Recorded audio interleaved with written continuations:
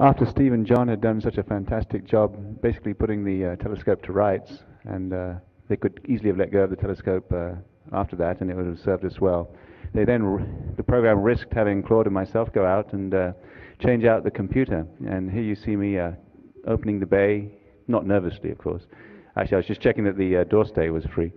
Opened up the door and pulled out the old um, 386 with co-processor and installed the um, a 486 which is basically a, a, pretty souped up computer that can handle all the radiation that the Hubble sees while it's uh, in orbit at 360 miles.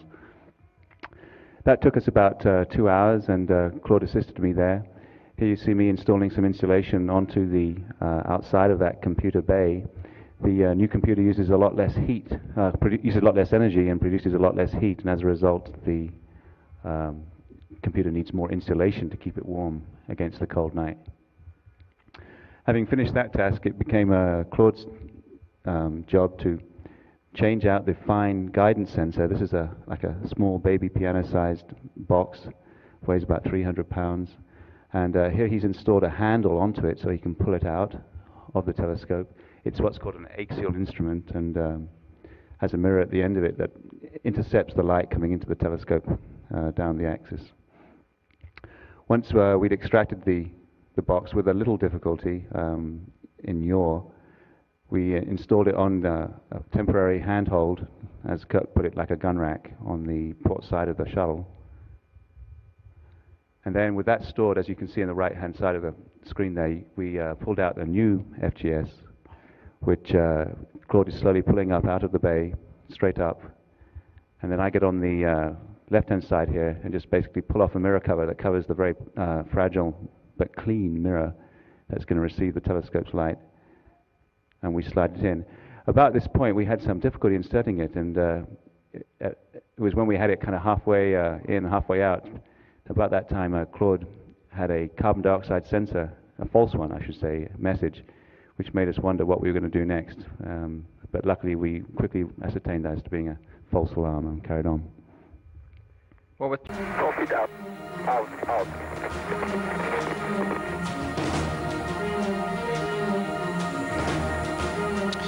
And there it is, Mike Foale uh, now pulling uh, the old computer out payload bay where the old computer will Looking be stowed. at live pictures of a spacewalk, the second uh, spacewalk of this mission by Discovery. What they're trying to do overall is help repair the Hubble Space Telescope. Two crewmen from Discovery are at it right now. They're trying to now replace the outdated computer on Hubble, give it computers with more capacity and more speed. They should be at it at least six hours. Yesterday's spacewalk, more than eight hours, was the second longest one in NASA history. It was eight hours and 15 minutes. But now you are seeing the second spacewalk of this mission. And let's listen in for a moment to Mission Control.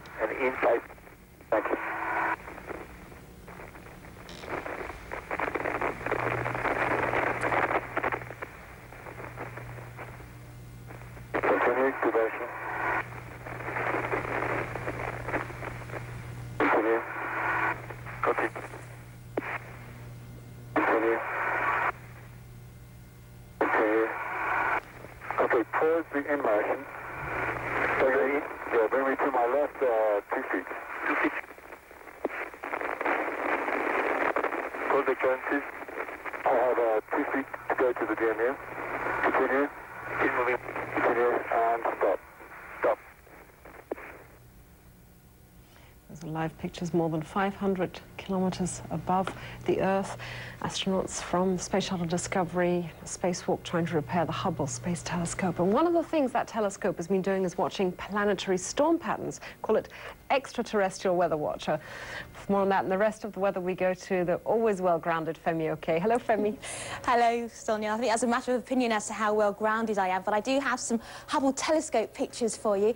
This is the planet of Saturn. It's mainly gaseous, and it's actually taking pictures of one of the oldest storm systems ever in our universe. And to give you an idea of how big this storm system is, it's as big as, well, two times the Earth's diameter. That's how big this storm system is. If you think of it as a, a huge, huge mega hurricane, you get some idea. And because it's a gaseous actual storm system. Normally our storm systems, a hurricane, when it reaches land, it begins to break down a little bit. But when you have an atmosphere which is mainly gas, there's nothing to stop it going, and it's been raging for some time. Let's take a look at another Hubble telescope weather picture. Here we have Mars. It also shows the changing landmass and moving winds and dust storms from Mars too. So be watching very carefully to make sure that Hubble telescope is repaired so we can see some even more fantastic extraterrestrial weather. Den Astronauten der US-Raumfähre Discovery ist es in achtstündigem Einsatz im All gelungen, das Weltraumteleskop Hubble zu reparieren. Das Gerät konnte seit Mitte November wegen mehrerer Defekte keine Daten mehr senden. Die Discovery soll am kommenden Montag zur Erde zurückkehren. Astronauts on a repair trip to the Hubble Space Telescope are on their second spacewalk of the mission. CNN space correspondent Miles O'Brien has the details. Miles? Judy, we're now about four hours and 10 minutes into the second spacewalk, the second of three spacewalks on this, the third Hubble repair mission. And thus far, astronauts Claude Nicollier and Michael Foale have been right on schedule. They have hit their timeline almost perfectly. Take a look at some live pictures from space. Up here, this corner, there's Mike Foale. You may recall him from uh, the Russian space station Mir. He spent 134 days aboard there back in 1996 and was on board during uh, that uh, tremendous collision that occurred. There's Claude Nicollier, the Swiss astronaut. He's attached to the shuttle's 50-foot robotic arm. What you're seeing right there is a little, essentially a space tool belt. Some of the 340 tools which they're carrying aboard the Space Shuttle Discovery to take care of this repair run. And these doors right here are for the fine guidance sensor. The fine guidance sensor is one of three pie-shaped devices which help Hubble see straight and point toward distant objects. The Hubble crew, the uh, Discovery crew brought along with them a remanufactured fine guidance center, gui guidance sensor that had been taken out during the last repair mission three years ago. It will be swapped out for the one which is still inside. As you can see, they're still working on getting all those connectors undone in there. A lot of work to be done before they can pull it out. Kind of a a tricky job, but of course, uh, in space, uh, they don't have to worry about any heavy lifting, of course. The uh, mission uh, has gone well thus far. Last night, uh, there uh, another pair of spacewalkers, John Grunsfeld and Steve Smith, conducted the first and most important spacewalk of the mission and were able to successfully change out six gyroscopes, these key gyroscopes also helping the Hubble see straight even if the second spacewalk didn't occur, they could have declared this mission a success. Once again, we're about midway through this spacewalk. We're watching it very carefully. The astronauts working in the back of the payload bay using this robotic arm and floating around the $3 billion Hubble Space Telescope, trying to get it back in business. Judy? Thank you, Miles O'Brien. You know, as many times as I've seen these spacewalks, I am still amazed at what they do. Nice pictures. Aber weil irgendjemand die teuren Stücke ja auch einbauen muss und gutes Personal im All so schlecht zu kriegen ist, hat die NASA sieben Astronauten hochgeschickt, um Hubble zu reparieren. Steve Smith und John Grunsfeld sind sogar so scharf auf den Job, dass sie es kaum abwarten können, die Discovery zu verlassen und freischwebend zu schrauben. Sie gehen deshalb eine Stunde früher raus als geplant. Während sie mit einer Geschwindigkeit von 28.800 Kilometern pro Stunde um die Erde kreisen, bauen sie neben den Gyroskopen auch neue Kontrollgeräte ein, die eine Überhitzung der zehn Jahre alten Batterien von Hubble verhindern sollen. Und weil es bei diesen Aussichten so schön ist, bleiben sie gleich zwei Stunden länger als vorgesehen und absolvieren mit acht Stunden und 15 Minuten den zweitlängsten Weltraumspaziergang in der Geschichte der Shuttleflüge. Auch in dieser Nacht wird natürlich schon wieder fleißig gearbeitet. Denn das betagte Weltraumteleskop bekommt noch ein neues Gehirn in Form von leistungsstärkeren Computern und einen neuen Leitsensor. All das muss fertig sein, wenn Hubble am ersten Weihnachtstag wieder freigelassen wird.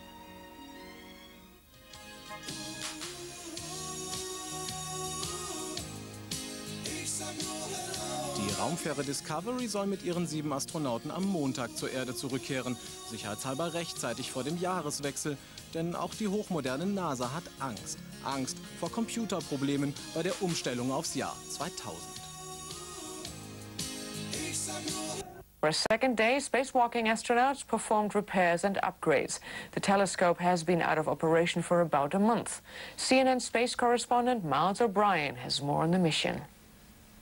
When NASA managers reflect on their rocky year in space, they will no doubt think fondly of this image.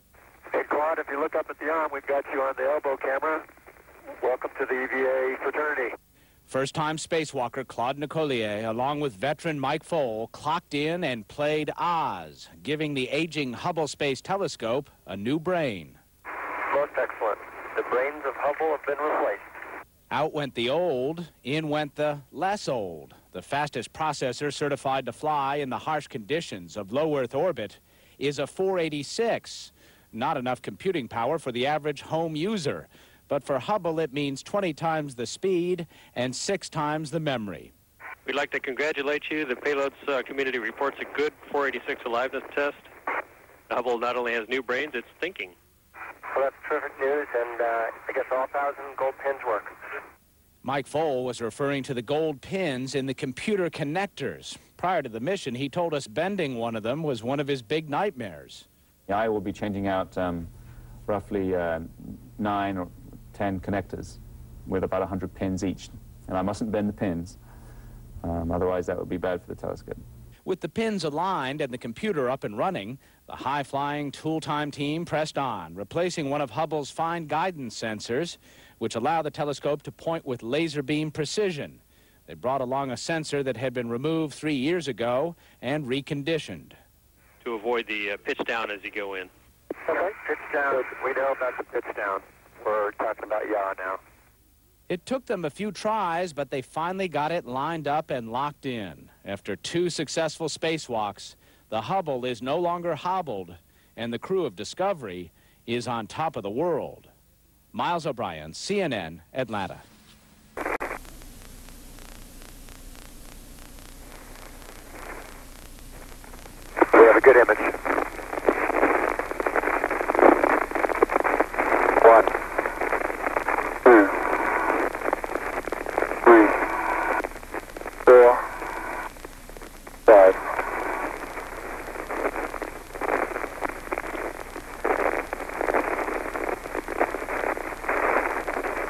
And this unique uh, camera angle is basically looking over the shoulder of Mike Foale as he begins uh, the process of opening the door. This is bay one, again, uh, just above and to the right of the location where the rate sensor units were changed yesterday.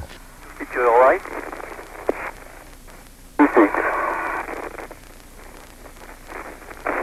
Inside, uh, behind that door, is uh, the Hubble Space Telescope's computer and not seen since uh, December of 1993 when uh, a coprocessor was added to the existing computer on the first servicing mission. Both ends verified secure. One, five turns. Two,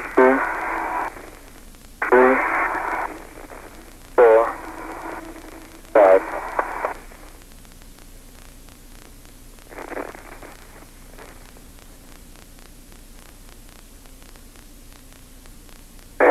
Have the door open, just keep an eye on what's inside if you can.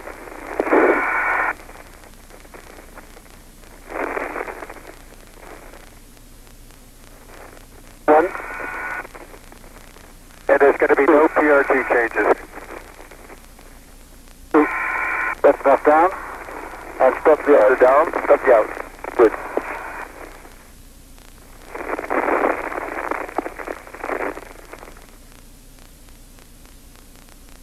Five of six bolts, Bud. Okay. Uh, we leave the port aft engaged. Correct. And Mike, uh, get the door stay shut. Okay, Steve, uh, I'd like to have a go ahead with uh, disconnecting.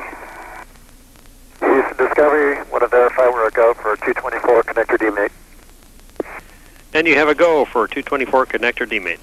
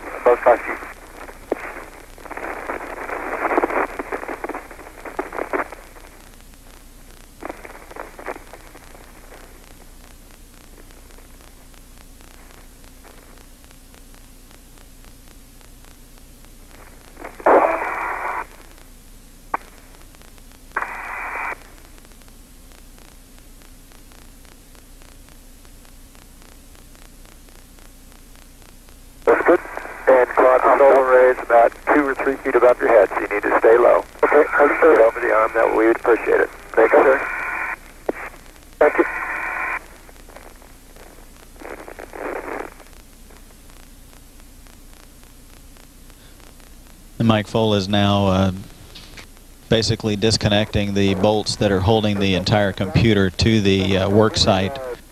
Down. All of the connectors have been demated or disconnected from the computer. And uh, as Foale was disconnecting each one, he would take a, a, hard look at them to make sure that the pins were uh, in good shape, as uh, those connectors will be mated to the new computer in an identical fashion, only in reverse of what he's doing now cut.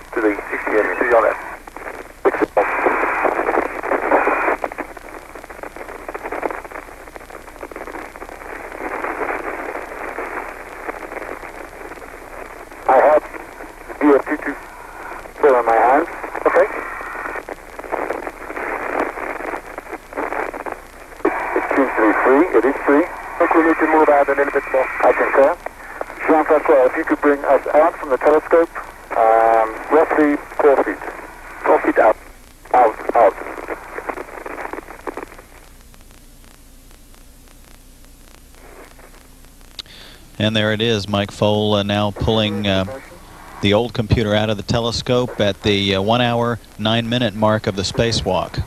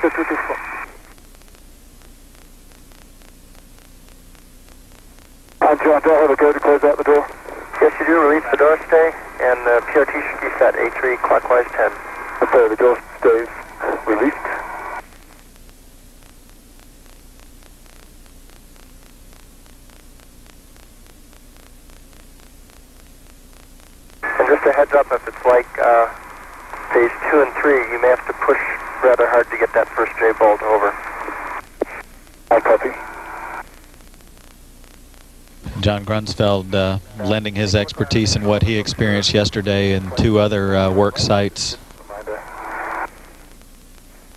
Okay, Jean-Francois, can you take me to my right, please, about uh, one foot, and in one foot? Okay, in and right one foot. That's correct. Beautiful view of uh, Mike Foale's reflection in the uh, telescope as uh, he prepares now to close out that work site. One foot. Down one foot.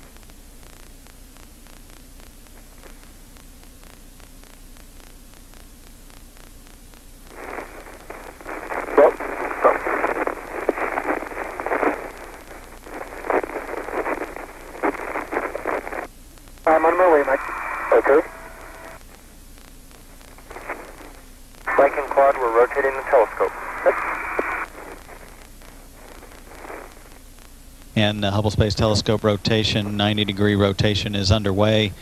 Again, this is to present the next work site uh, facing toward the crew compartment uh, so that it is within reach of the shuttle's robotic arm.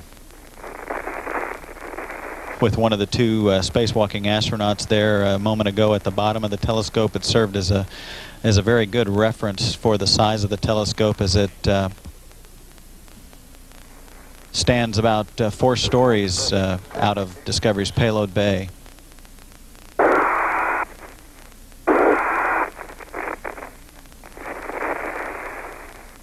Just got enough friction between the material and the handrail so they will slide very easily. Can you also see what I was talking about, that the Velcro would overlap? Yes. But it's adequate. It's enough. For today.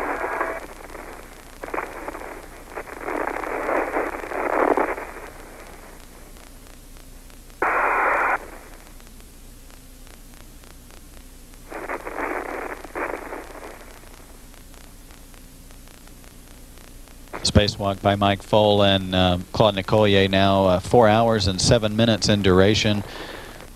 At present, uh, Nicollier is attaching the handhold that, uh, or they're they're demating the connectors in preparation for attaching the handhold that will assist him in pulling the fine guidance sensor out of the telescope. The fine guidance sensor that will be installed in the telescope is one that was uh, refurbished, was actually returned to Earth uh, from the last servicing mission to the Hubble Space Telescope. It's now been refurbished and is uh, patiently awaiting uh, to be installed in the telescope in place of this fine guidance sensor once it's removed. If you had just a smaller bundle than his, I could use what I was planning to use. Well, if Mr. Harbaugh is in mission control, he'll be happy Mike used that technique. yes, I'm grateful to Greg Harbaugh for briefing me on that. So also take me out one foot. Out one foot.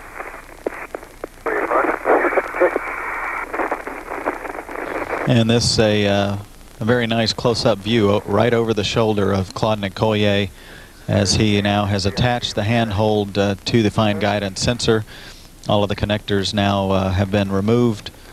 Grounding straps uh, have been removed as well. I'm ready to go. At the controller, it's Alpha 4. At the same time going out. Very nice, Cruz. Very nice. There's a mirror on the end. Perfect. Continue up and out. Up and out. Very nice, Cruz. Really smooth. Very good. Absolutely straight. Just perfect. Absolutely perfect. A little more up, no problem. Moving up. About two And more out. inches. Two more inches up. Just perfect. It's absolutely level. Three foot cleared now with the mirror. Okay. And the telescope. Four foot. Okay, now why don't you keep an, keep an eye on Claude here. Claude, do you have a go for mass handling? Okay.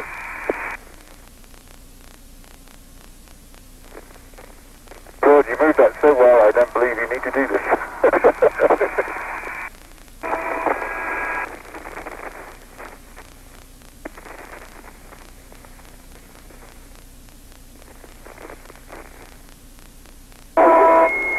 I'll need one more foot aft as you continue the rest of the motion. One more foot aft. Correct.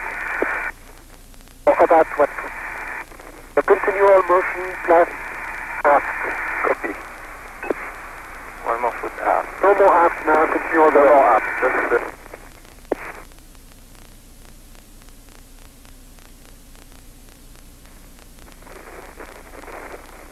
And right hand counterclockwise. Correct. Mike, you can check the on-orbit lid latch there while you pass it. Okay. Okay, I have the flaps in my mini what's there. Okay, boot plate back to zero. Okay. Okay, Claude. Um, I need you to come about two feet, uh, three feet back. Okay. Jean-François, slowly, three feet past. Three feet past. Continue. Five hours, 14 minutes into the spacewalk now.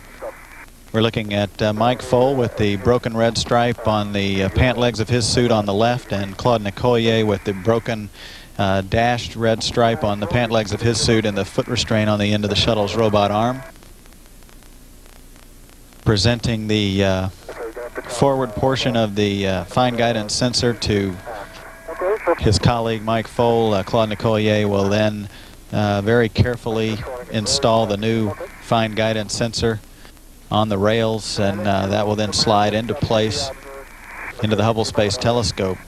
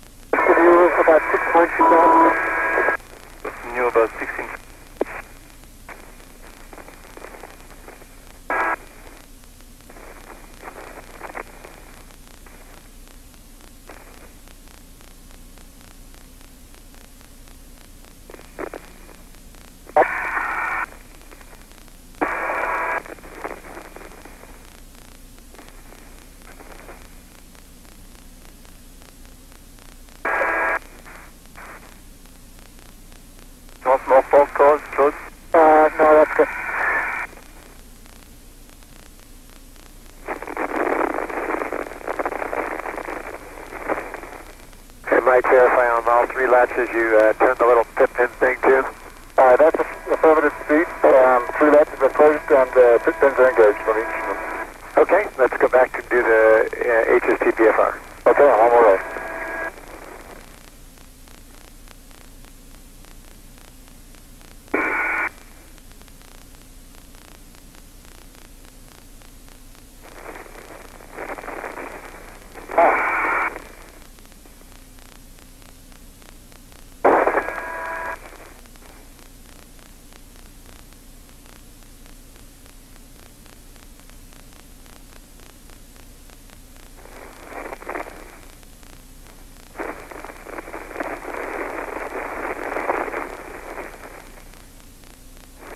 Claude, look at us.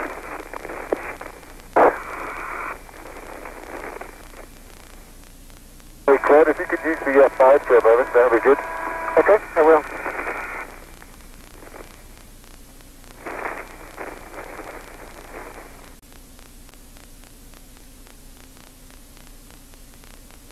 Well, with two EVAs on our belt, we did get a little chance to look out the window. Here we are flying over Merritt Island and the Kennedy Space Center where we launched from. You can see the runway. Day three, we set out uh, to take care of some uh, rewiring of a box that helps the fine guidance sensor do its job. These are new improved fine guidance sensors and can not only help point the telescope but also to do science in themselves. They're scientific instruments. So Steve and I went back to rewire the optical control electronics and when we do these tasks uh, high up on Hubble, we're very close to the solar rays, so it's kind of a touchy time. And Mike, as the IV intervehicular crew member directing the whole scene, kept reminding me, don't lean back and watch out for the solar rays. Next, we were off to Bay 5 to replace the S-band uh, single access transmitter. This is one of the two transmitters where all the science and engineering data come through. And we had a lot of very fine tasks with uh, using just our fingers on connectors which are aptly named sub-miniature assembly connectors. And uh, they're really tiny. They're smaller than what you have coaxial connectors on the back of the TV. And along with Goddard, we developed some special tools to be able to do that. So here you see a little torque wrench. After that, we went about the task of improving some of the thermal insulation as Mike and Claude had done on the first day on the bays, uh, after which uh, another seven and a half hour EVA, close to eight hours, we had a chance to wish everybody a Merry Christmas since this was Christmas Eve. And uh, unfortunately, Kurt had to order us back in. We wanted to stay out, of course, but uh, he doesn't have a button to reel us in, so we came in. Uh, John, another beautiful day outside. Christmas Eve working on the Hubble Space Telescope.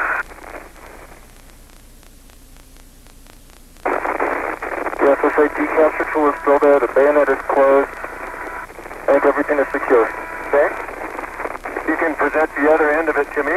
Okay? The other end. Oh, like that? Yeah, there we go. Okay. Okay, you're tethered to it still. I'm still tethered to it. Yeah, I've got it. Okay.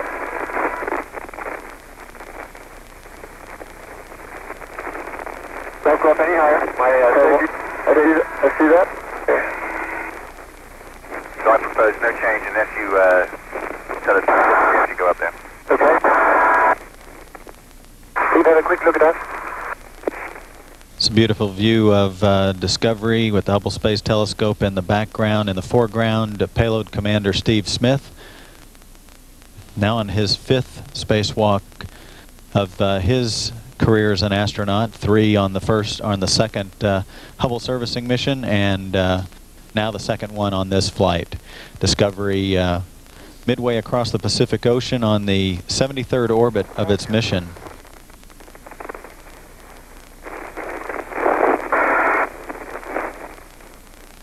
Smith, along with his colleague uh, John Grunsfeld, uh, are uh, wrapping up the setup for today's spacewalk, again scheduled to last about seven hours.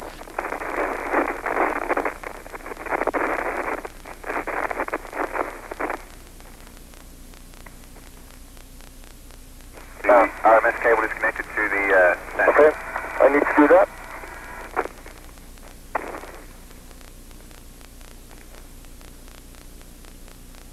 Thank you. I'm going back out.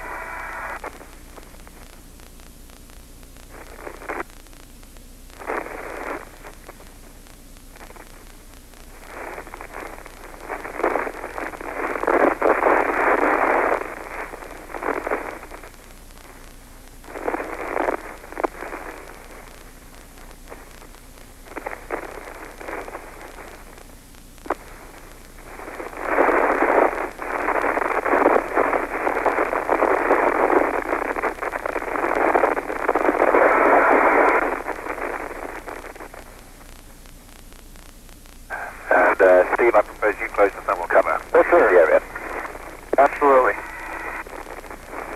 Thank you.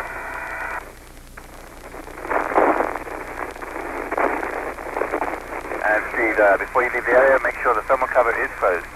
Verified closed. And I say closed. And John, uh, are you ready to move to the PSR storage location? Affirmative. Okay, transition in well. And Houston Discovery, we are now complete with daily setup.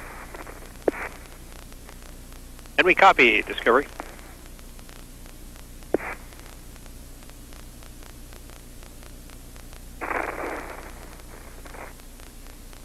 Mike Foale uh, notifying Mission Control here that the daily setup is completed. All of the tasks uh, associated with preparing for today's uh, activities are complete. And again, the uh, two crew members uh, working today John Grunsfeld on the end of the remote manipulator system, the robotic arm. And Steve Smith, the free-floating astronaut, uh, while uh, over their shoulders down below, Discovery's passing high above the Yucatan Peninsula on the 73rd orbit of the mission.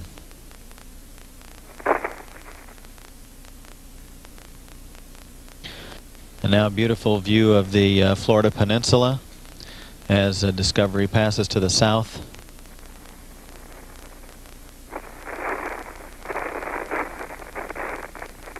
John, is the other end of your tether this? Okay. I have it. You've got it? I clear? You're all clear. Take open so you can start uh, pitching me up. Okay, I will put you in the attitude forward key and uh, also the X. Okay. Mike, just so you know, the white strap is secure on the MFR stowage bracket. I copy. Okay, you're cleared across. Come up. Hello, Hubble. And Steve, what's your uh, tether reel against the telescope as you go up? Okay. Okay, I'm showing uh, 45 right. And, uh, rotating to 30 left. So I think you can come aft a little bit. Yes, a bit more aft. I agree. Concur? Okay, I'm now aft of the trunnion. You can come towards the telescope. I'm still about six feet away. Copy, towards the telescope.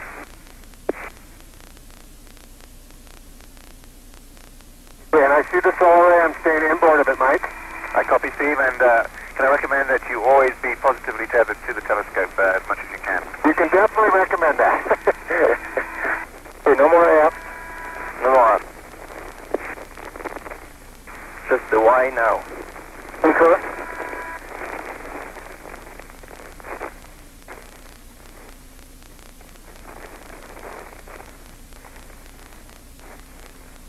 And I will give you some uh, body roll left so that uh, you safe around the telescope. Okay, somebody yaw left? Yeah. Yeah, that's FL. Thank you. Let's go in the top hole. Okay, and then I'll give you the connector tool back, and it's fully extended. I concur. Okay, and that one's locked. I now have the connector tool. You got it? Yep. Okay, if you can push the door open, come in open. I know the battery louvers are below me. Yep. I've never had this view of the APU steam vents before. Yeah. Very good view, gentlemen. These are closeout uh, photos documenting the uh, work that the two crew members just completed in this as the part of the spacewalk. And as we heard Steve Smith, the free-floating astronaut, uh, hanging onto the telescope, one of the telescope's uh, handrails, looking back at the tail of Discovery and uh, jokingly commenting that he's never had this particular view of the APU steam vents. Those steam vents for the auxiliary power units of the shuttle are located on either side of the vertical tail of Discovery. Relax your grip now, and we're going to uh, do a view face on. Okay. To do that, I'm going to have to, uh, We have a nice view of uh, Steve. okay, I'm going to have to turn my foot plate to do that. Okay, you want me to hold the camera? Uh, yeah, that's probably the best.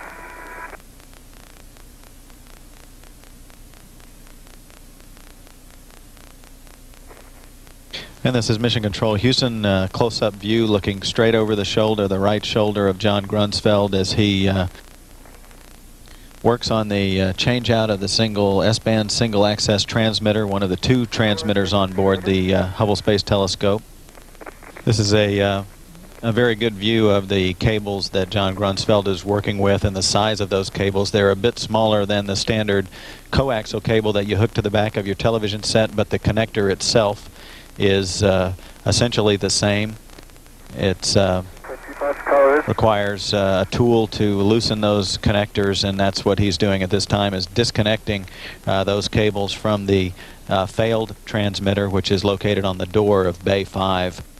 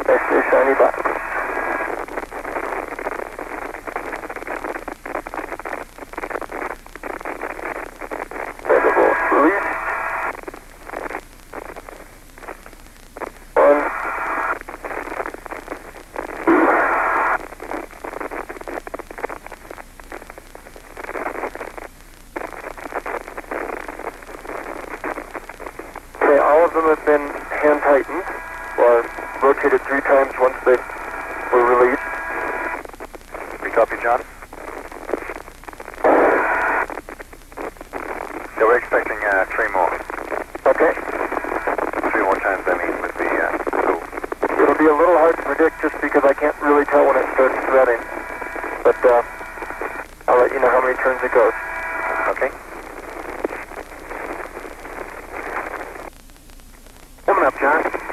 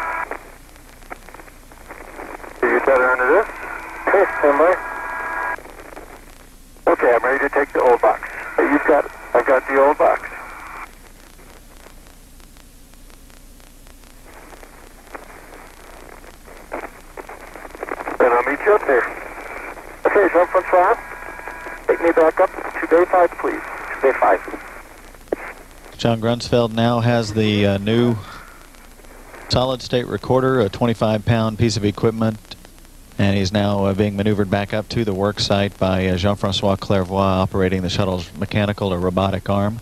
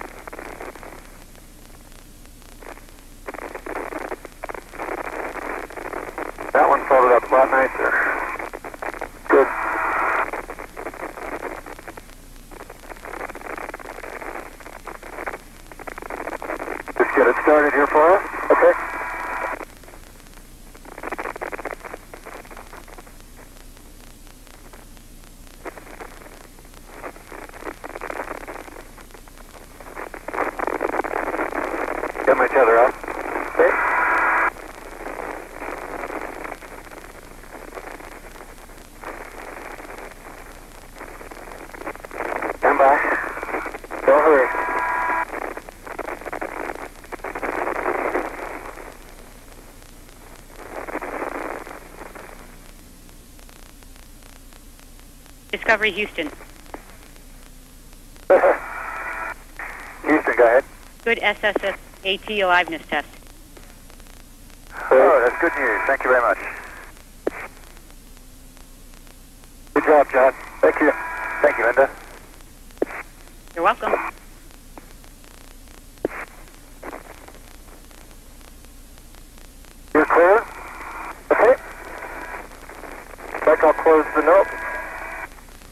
third uh, spacewalk uh, of this of this flight to the Hubble Space Telescope, now uh, six hours in duration, with Steve Smith headed back up to the telescope with a new outer blanket layer for Bay 9, another uh, section of the telescope.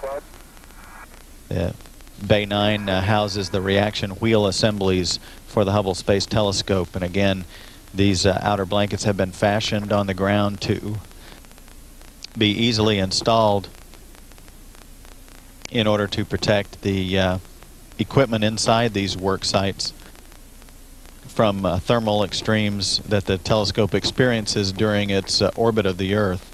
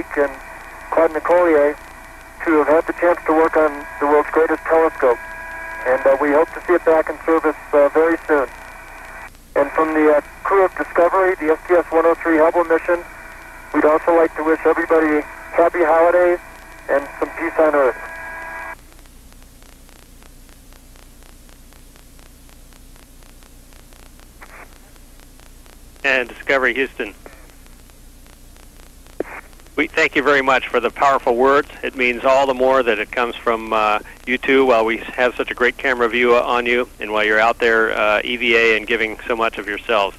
We'll pass all the words on and uh, we can't just just can't say enough for you and your crew members for what you've done for us. Merry Christmas. Hey, John.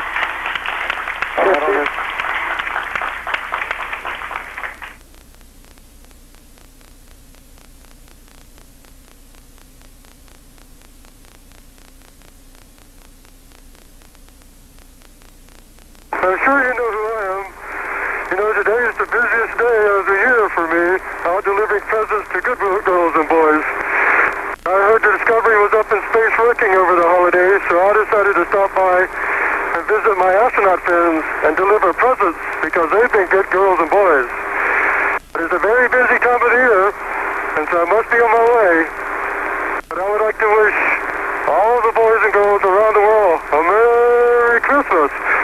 Especially those ones down in Houston and Mission Control at the Kennedy Space Center, which done so much work during the holidays to make this mission such a great success. It's busy, busy year, so I gotta go. Merry Christmas, boys and girls. Merry Christmas. Tour des Weltraumteleskops Hubble beendet. Dreimal waren sie außerhalb der Raumfähre, um Hubble wieder funktionstüchtig zu machen.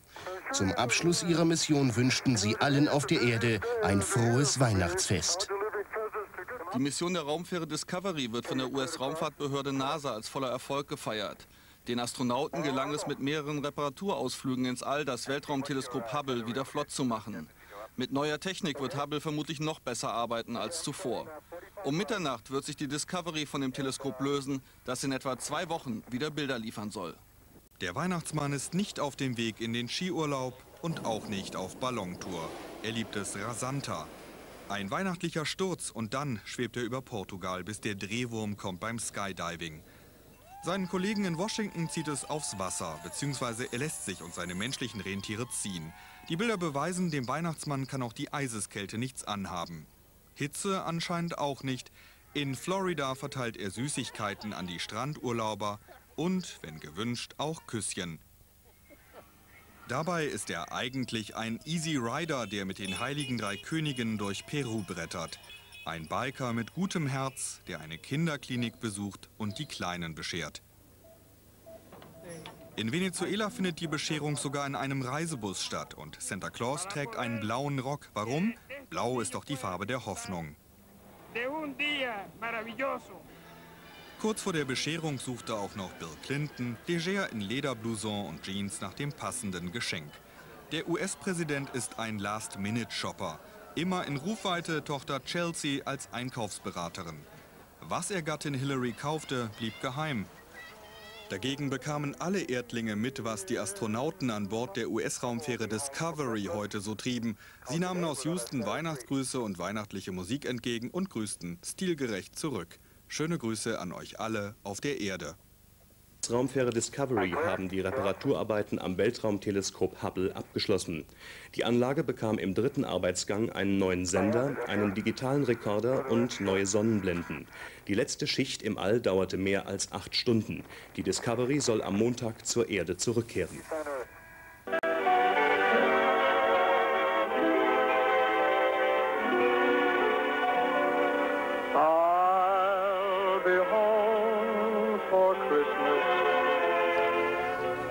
Contrary to that musical Christmas greeting, Mission Control isn't bringing astronauts aboard the Space Shuttle Discovery home for the holidays.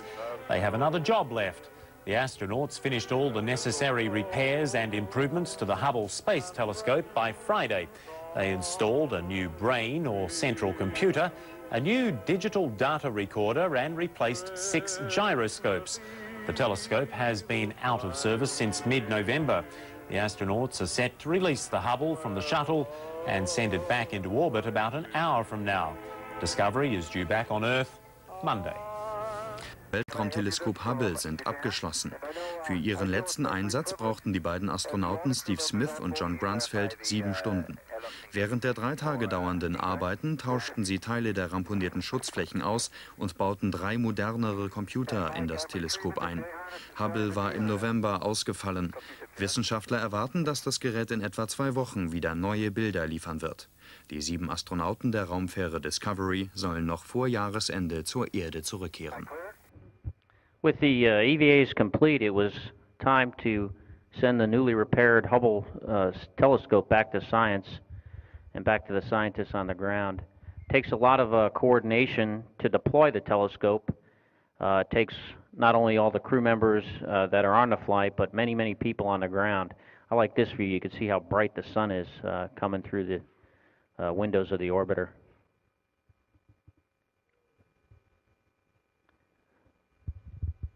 We want you to notice their shirts. They're pretty awesome. Here's uh, Jean-Francois holding the telescope out over the payload bay. He's going to release the uh, robot arm. And once the robot arm is clear of the telescope, and this is actually in, uh, in a uh, not sped up uh, video, so the arm, arm actually moves really quick. And then we fire the forward jets of the RCS, and the telescope quickly passes over our heads. And it's uh, really an impressive sight. It almost makes you want to duck while you're in the cockpit. And it's hard to tell here, but the telescope is rapidly uh, proceeding away from the orbiter.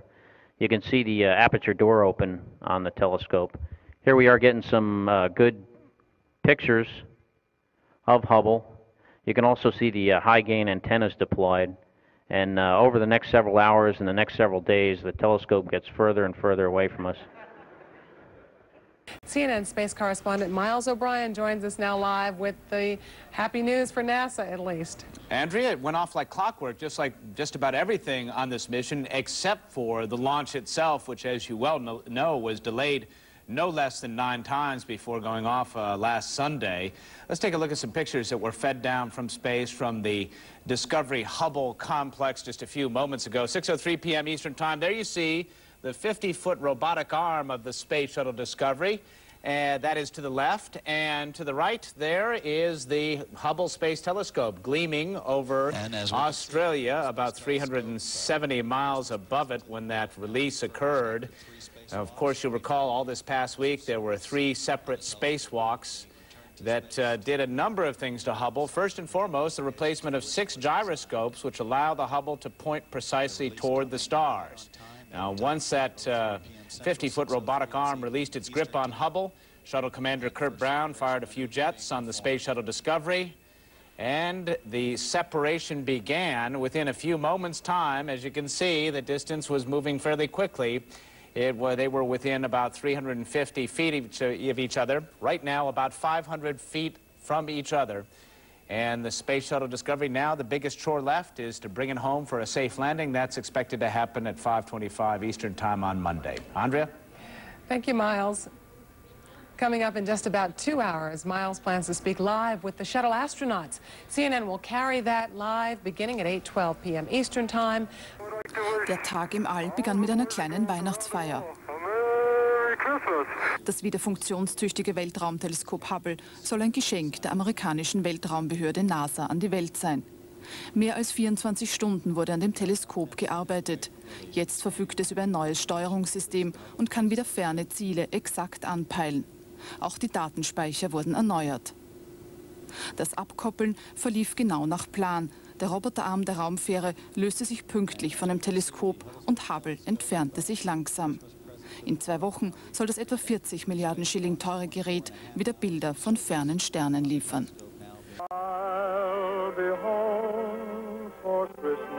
Wenn schon an Weihnachten nicht zu Hause, dann sollte es die Besatzung der Discovery wenigstens im All ein bisschen festlich haben. Musik von Bing Crosby und sogar Santa Claus war da. Heute ist der stressigste Tag des Jahres für mich. Wie ihr wisst, verteile ich Geschenke an brave Jungs und Mädchen. Ich hörte, dass die Discovery im Weltraum ist und dass meine Astronautenfreunde über Weihnachten arbeiten müssen. Weil sie brav und fleißig waren, habe ich mich entschlossen, ihnen einen Besuch abzustatten und auch sie zu beschenken. Die Bescherung hatten sich die Astronauten auch wirklich verdient. In drei Außeneinsätzen reparierten sie das seit Wochen ausgefallene Weltraumteleskop Hubble. Zudem setzten sie einen neuen leistungsstärkeren Computer ein. In etwa zwei Wochen dann soll das 3 Milliarden Dollar teure Teleskop wieder die ersten Bilder zur Erde senden. Nach getaner Arbeit koppelte die Raumfähre in der Nacht ab und überließ Hubble wieder dem eigenen Schicksal im Weltraum. Für die Discovery heißt es nun Driving Home for Christmas. Sie landet morgen auf der Erde.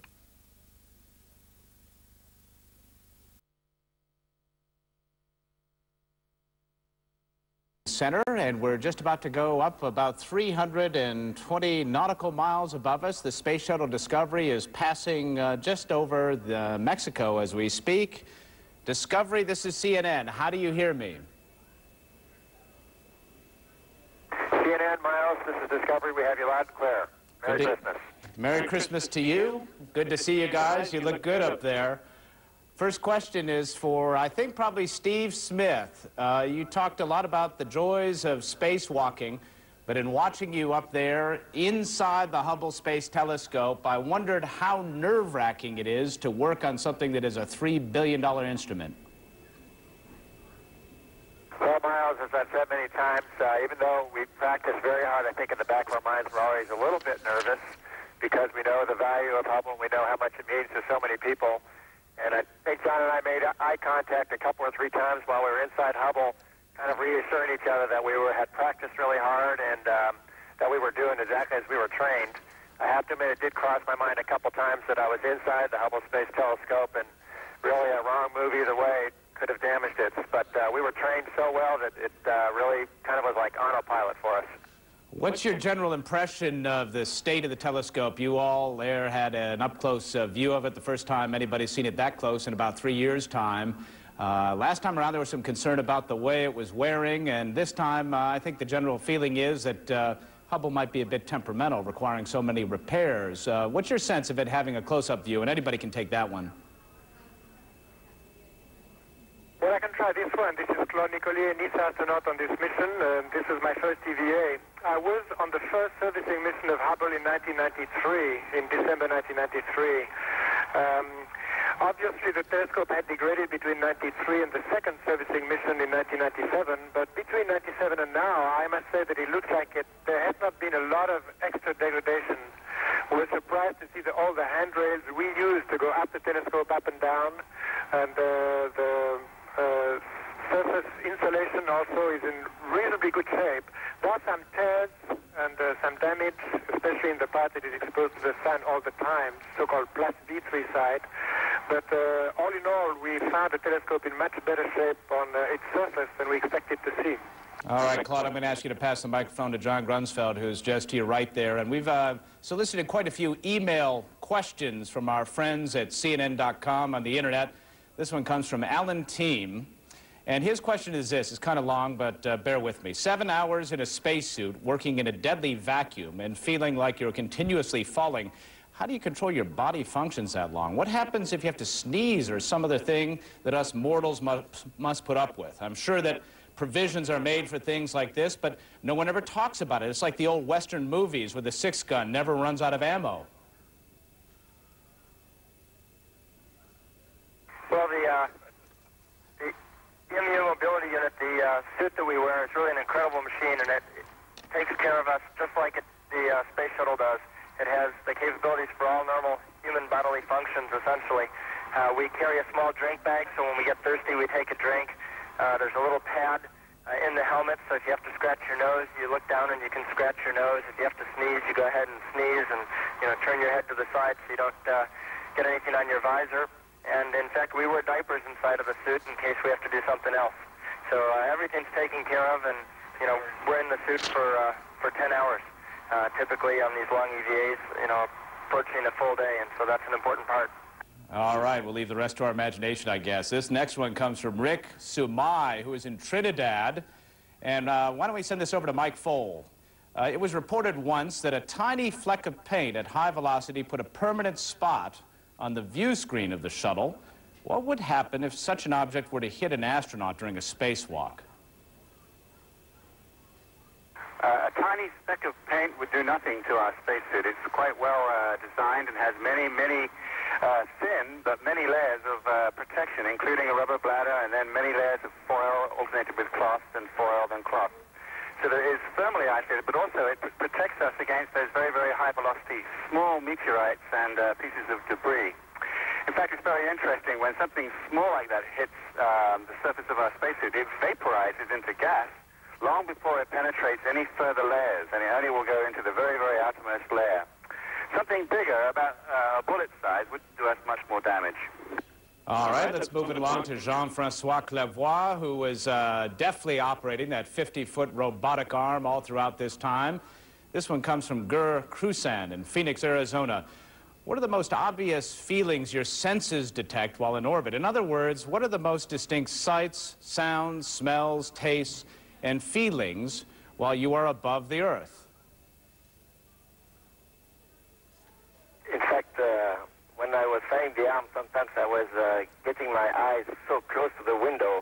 I had the feeling I was also in a suit with a helmet, and I thought I was outside with John and Steve or Claude and Mike.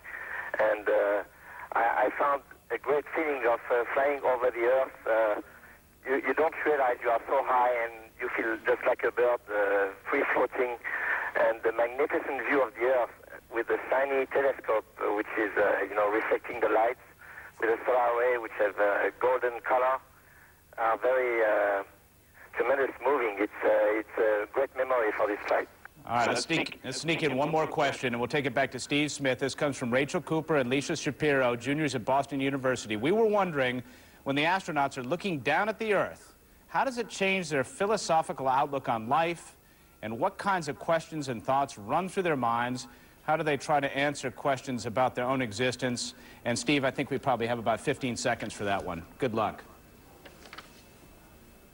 Uh, it's a question we all ask, and we all have different answers. But for me, I have two main impressions. One is when I look at the Earth, it looks very beautiful, very fragile. It reminds me we need to be very uh, careful with the environment. And the other, it looks like, the other thing I always think about, it looks like one global community. It really does. It looks like an island in the ocean. And if you live on an island, you really need to be at peace with all your neighbors. Merry Christmas to uh, Steve Smith, John Grunsfeld, Claude Nicollier, Mike Foale, Jean-Francois Clervoy, and the rest of the crew of Discovery as they continue their trek at 16,900 miles an hour, 370 statute miles above us. Merry Christmas. Take care. The next big event for the Space Shuttle Discovery is landing, scheduled for 5.25 p.m. Eastern Time on Monday. Excuse me, that's 5.24 p.m. Want to get that precisely correct? CNN, of course, planning live coverage. Back with more in just a moment.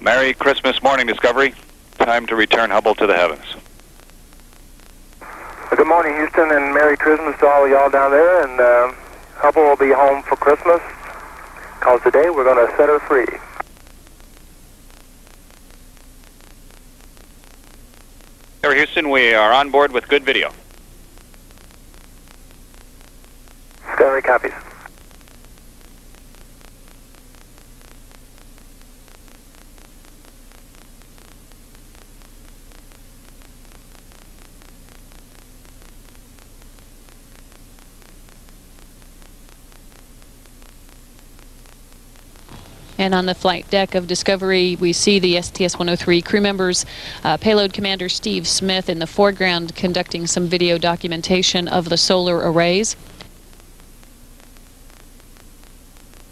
He is joined by pilot Scott Kelly.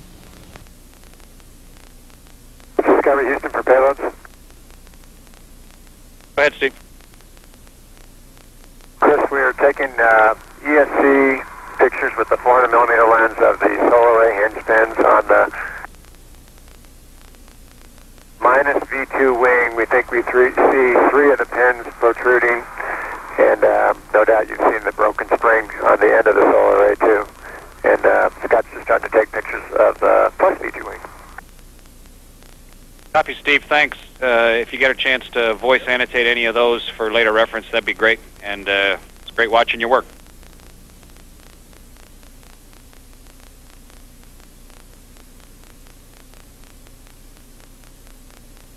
And now also in this view, European Space Agency astronaut Claude Nicollier. Both Smith and Nicollier conducted spacewalks over the course of the last three days.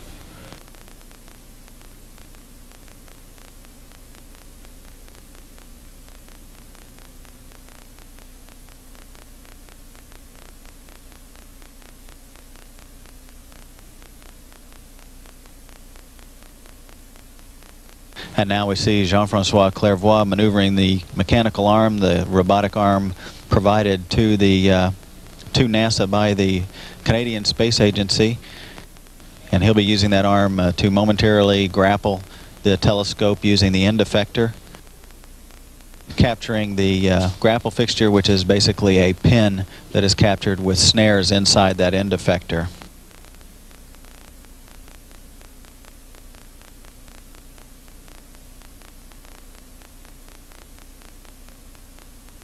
Every Houston, we see a good grapple. And for the front seaters, we do have stars of opportunity already sitting there if you want to get early on the align.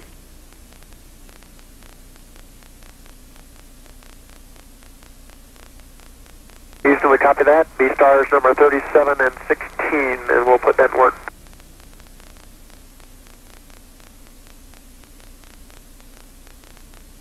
Discovery is now across the equator to begin the 90th orbit of its mission, headed northeasterly across the Pacific Ocean. And the uh, Hubble Space Telescope now being maneuvered to the uh, release position very carefully now on the end of the shuttle's robotic arm, uh, riding high above the payload bay of Discovery. The uh, telescope will be maneuvered over to the side of the payload bay the uh, normal release position that uh, folks familiar with servicing missions in the past will uh, be very familiar with the view of the telescope hanging over the side of the payload bay and awaiting all of the final uh, commanding uh, that will be performed by the Hubble Space Telescope project team uh, located at the Space Telescope Operations Control Center up in Greenbelt, Maryland at NASA's Goddard Space Flight Center. Discovery Houston for payload. Go ahead, Houston. Discovery, we've pulled the room. You have a go for the release of the Hubble Space Telescope. Copy. Discovery has a go for release of Hubble.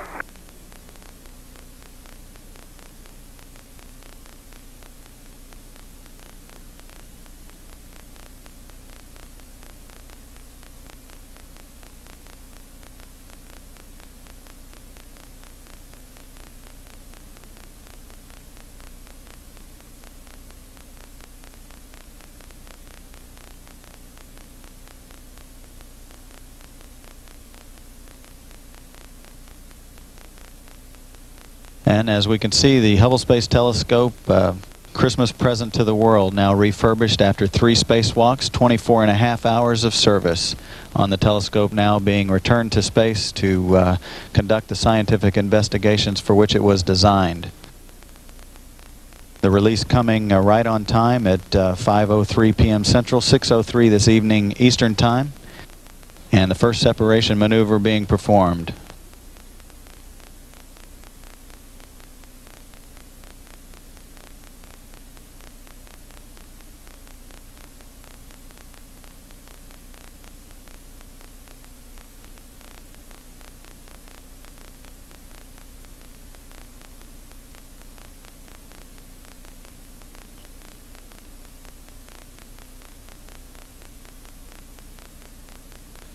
Discovery and its seven astronauts now uh, saying goodbye to the Hubble Space Telescope, which has resided in the payload bay for the last five days.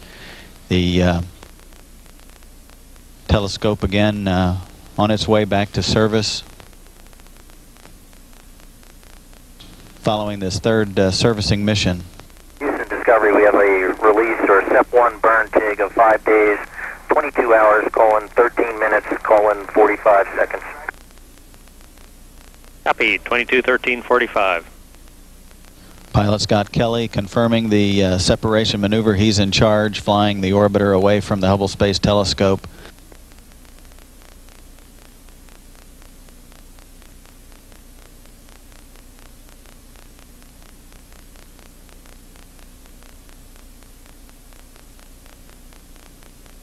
And Discovery, congratulations for an excellent uh, deploy. Thanks for the great Christmas present. It's just what we wanted.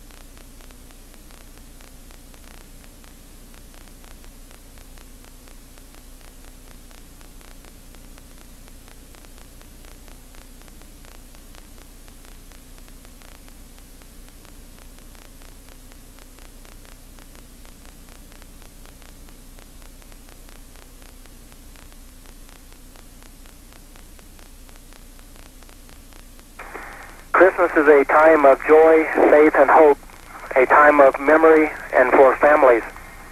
We send our families and friends our warmest greetings and promise that we will soon be home with you. We also want to extend our greetings and best wishes to all men and women, girls and boys around this earth that seems so much smaller from our vantage point. Yet smaller as it is in this vast universe, it is the home of all humankind. The familiar Christmas story reminds us that for millennia, people of many faiths and cultures have looked to the skies and studied the stars and planets in their search for a deeper understanding of life and for greater wisdom. We, the Discovery crew, in this mission to the Hubble Space Telescope, are very proud to be part of this ongoing search beyond ourselves. We hope and trust that the lessons of the universe has to teach us will speak to the yearning that we know is in human hearts everywhere. The yearning for peace on earth, goodwill among all the human family. As we stand at the threshold of the new millennium, we send you all our greetings. I would like to wish a Merry Christmas and a very happy and healthy new millennium to all. And stand by. Joyeux Noël à tous. Joyeux Noël à tous les Suisses francophones und schönes Weihnachten und äh, gutes Neujahr. To all our family and friends and people of planet Earth, happy holidays, and may we have peace on Earth in the new millennium. Feliz Navidad. I wish everybody a happy Christmas. Novum Gordon, Siemveresia. Merry Christmas to all the people of the planet Earth, and uh, good night. And Houston, thank you for uh, letting us take the time out to celebrate this special day. You know, when you think about it, everybody's talking about the millennium, and uh, for the last hundred years, man had not left the ground. A hundred years ago, now man has left the Earth. What do you think is ahead for us in space travel in the next century?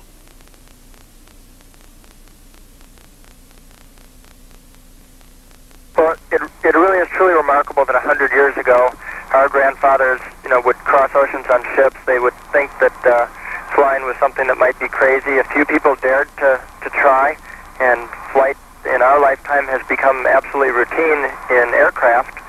And now here we are on the remarkable space shuttle, and although no shuttle flight is routine, uh, NASA is ensuring that flight in space is safe.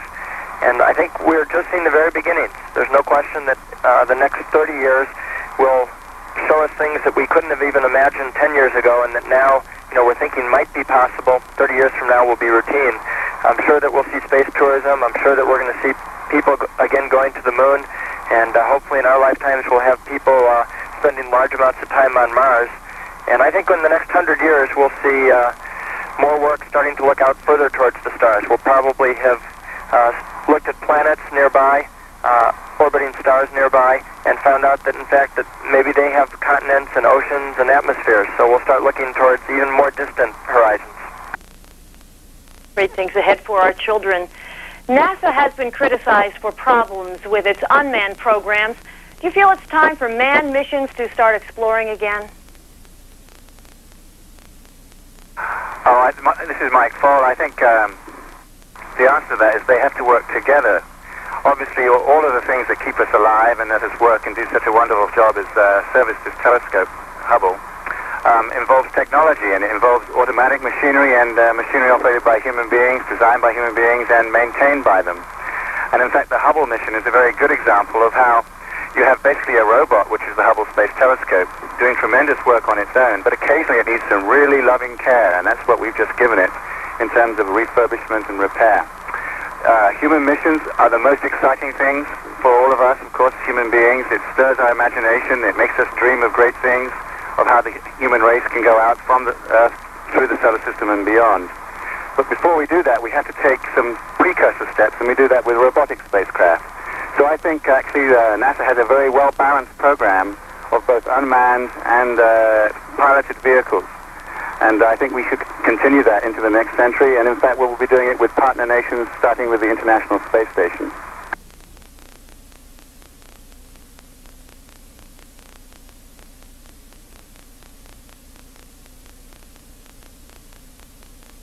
NASA officials say they will put the Hubble telescope through a series of tests to check if the observatory is working properly. Astronauts released Hubble into orbit on Saturday after completing a number of repairs.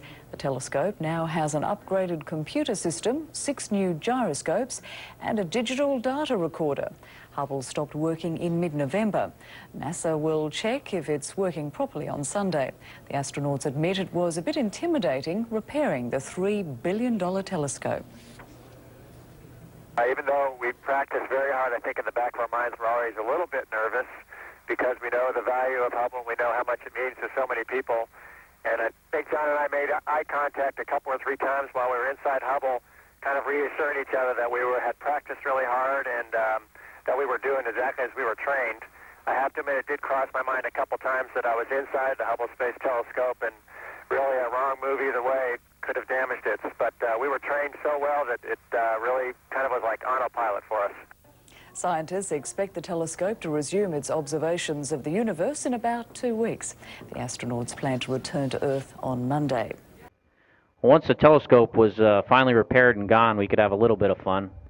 Here's uh, the commander spinning up the pilot.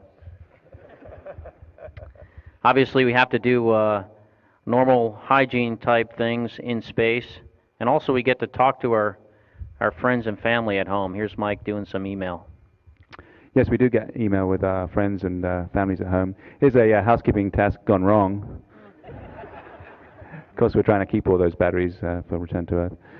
Um, one of the difficulties I think that Curt has to go through is see his beautiful spaceship after liftoff get turned into um, a motorhome gone wrong. um, basically, with all the pieces of equipment and the stuff on the middeck that we get out um, for the EVAs, it, it really kind of tears apart the uh, orderliness of the orbiter, and we have to get that all back together.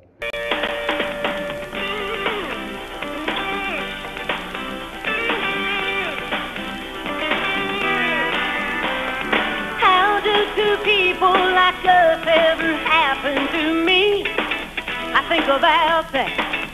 Was the timing just right? Was it just that the night was so sweet? I think about that. Was it chemical, physical? What was the deal? Or did some kind of magic turn out to be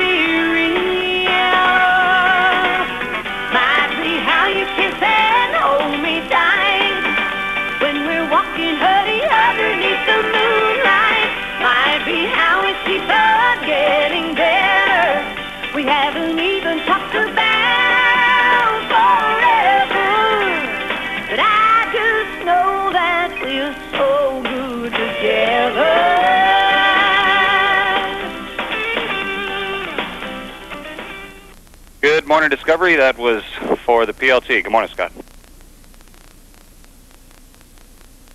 Morning, Chris. Uh, had that one figured out. Thanks. Uh, Discovery is welcome for questions at this time. Okay, we'll go ahead and start here. Mark Carreau. Chronicle, and my question's for Steve Smith. Uh, long ago, the Hubble Space Telescope was designed for spacewalk servicing.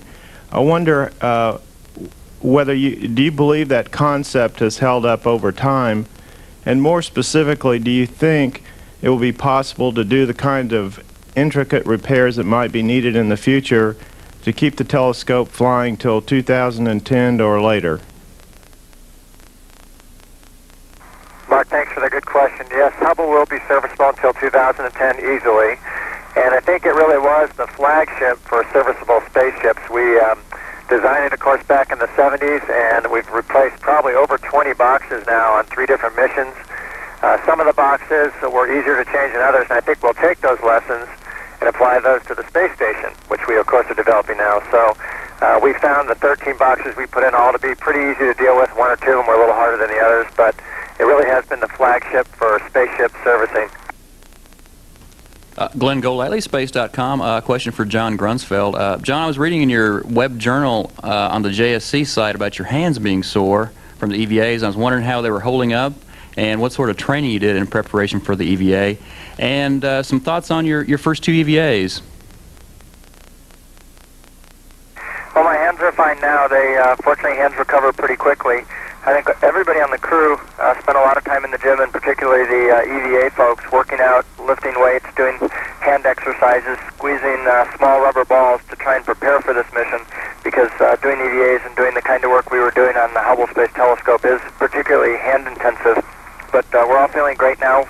If uh, the telescope were still in the bay and needed more help, we'd certainly all want to go out and do it again. I think we uh, really enjoyed doing that and getting Hubble back up to speed. Uh, thanks. This is Mark Carreau again from the Houston Chronicle, and my question's for Mike Foale. Wonder what it's like for you to go back to space on a relatively short trip after uh, your long trip on the Mir space station. Well, it's kind of like coming home in a strange way. Um, when we got to space, uh, I felt very comfortable. I, I thought I adapted far faster than I have done on my previous shuttle flights. Um, it's a great pleasure to work in space and to uh, sleep in space again, do all those hygiene items that uh, I had become quite accustomed to over five months. And though it's a short flight, we had uh, a very different pace. This pace uh, here during the Hubble mission was extremely intricate. We had to uh, do an awful lot in a very short time. In fact, we still have more to do to re-enter. Um, basically, there are different types of missions, the shuttle mission and the station mission.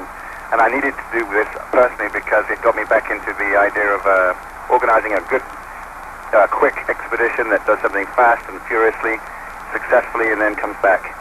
The other type of mission on the station is rather different, and I wanted to keep my, my experience in both. Bill Harwood, CBS News. Um, maybe for Steve or John Grunsfeld, I'm not sure which. Uh, you guys set the second, third, and fourth longest EVAs in U.S. shuttle history, and I know going into this, with all your training, you were budgeted for six and a half hours in that in that time frame.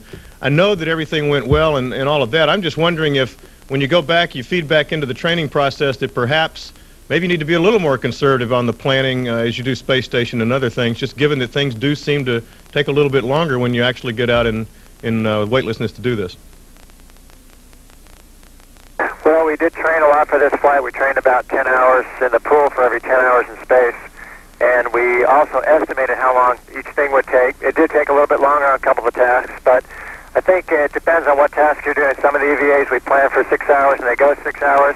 Some of we plan for six, they go a little bit longer. I think we ran into, I think I counted 13 anomalies on the first spacewalk, and uh, with the year 2K constraint at the end of the mission, really didn't have the capability to delay to a fourth EVA, which we would have standard. So I think we probably pushed a little bit longer on these flights because of the end of mission constraint.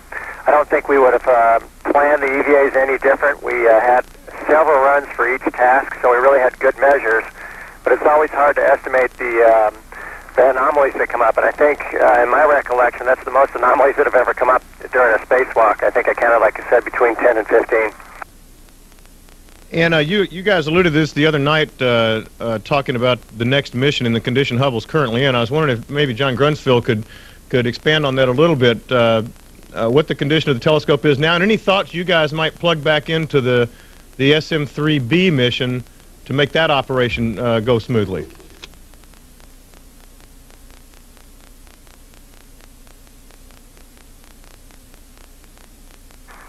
Well, going back to uh, actually your previous question a little bit, I think it, as it relates to SM-3B, but also the International Space Station spacewalks, I think one of the big lessons that I've learned from this is that the uh, model for training that we used on the Hubble Space Telescope mission is really a great model for spacewalking. As Steve said, we spent about 10 hours in the water for every one hour that we were out EVA. And just the organization of the teams, uh, the team from Goddard, the team from the Johnson Space Center, all the subcontractors, the way that they trained us for all the contingencies and how to deal with stubborn bolts and boxes that may, might not come out uh, was really excellent. And we should apply that to not only the next Hubble repair mission, but also I think all of the space station missions. As far as 3B goes, we did a, a couple of look-arounds to uh, inspect some connectors and the condition of the rest of the telescope. And for me, it's really surprising. A telescope that's been up here for 10 years with only uh, three servicing missions, it's really in pretty great shape. And right at the end of the mission, as we were putting all the tools away, I had a, a couple of seconds just to look up and sort of survey the telescope up close and personal. And uh, Hubble's doing really well. I think uh, the next team will have a, a real good opportunity to make the telescope even better. Uh, Bill Harwood, CBS again. Uh, uh, for Steve Smith, I just was obviously thinking about writing a lessons learned spacewalk story, and you, you mentioned 13 anomalies. Can you give us just some sense of what they were? I'm assuming you mean bolts that are a little tighter than expected and that sort of thing, but maybe just expand a little bit on what the unexpected was. Sure, we had several bolts that uh, wouldn't release at their normal torque. We had several bolts that wouldn't tighten at their normal um, torque. We had uh, one box, the very first rate sensor unit, that wouldn't go in very easily the first time. We had some trouble closing uh, some doors also on that first day, the doors that cover the gyroscopes.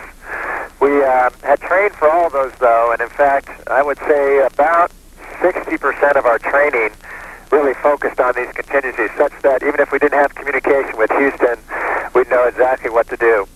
Um, even some of the uh, non-Hubble equipment, we had a foot restraint that actually is uh, shuttle equipment that wouldn't go into a certain setting. So these are pretty typical. We weren't um, necessarily surprised by any of them. We were just surprised by so many of them that first day especially.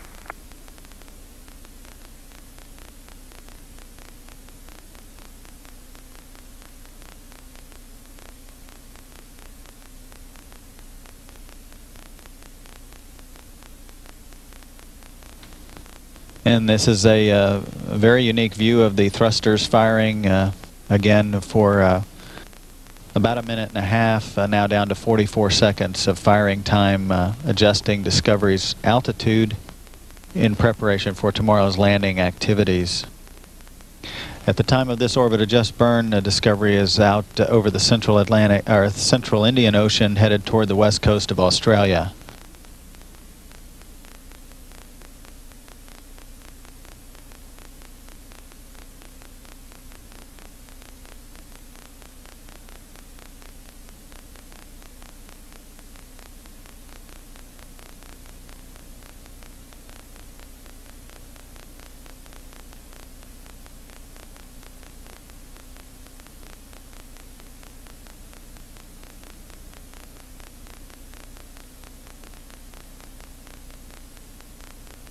Discovery Houston, good burn, good residuals, no further trim required.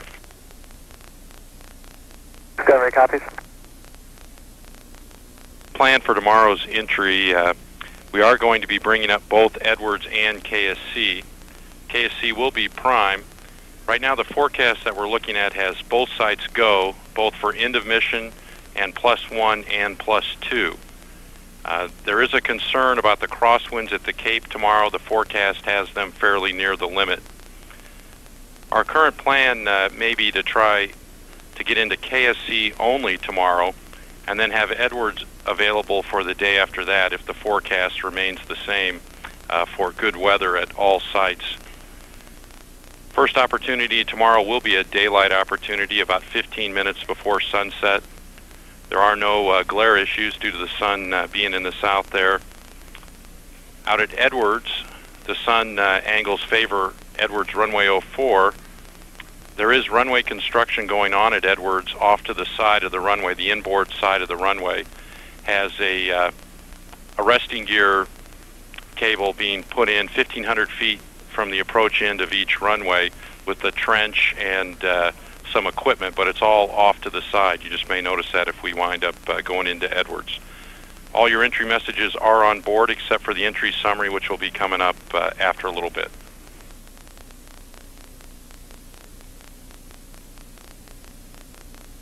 And Scott, thanks a lot. We copy all of that, and we'll just uh, hope that the winds die at KSC so we can take uh, Discovery back home. Roger that, Discovery, and uh, just want to point out the winds are currently within limits. It's just a concern uh, if uh, the model doesn't forecast the winds very well. But right now, all the sites are go for tomorrow. Discovery copies.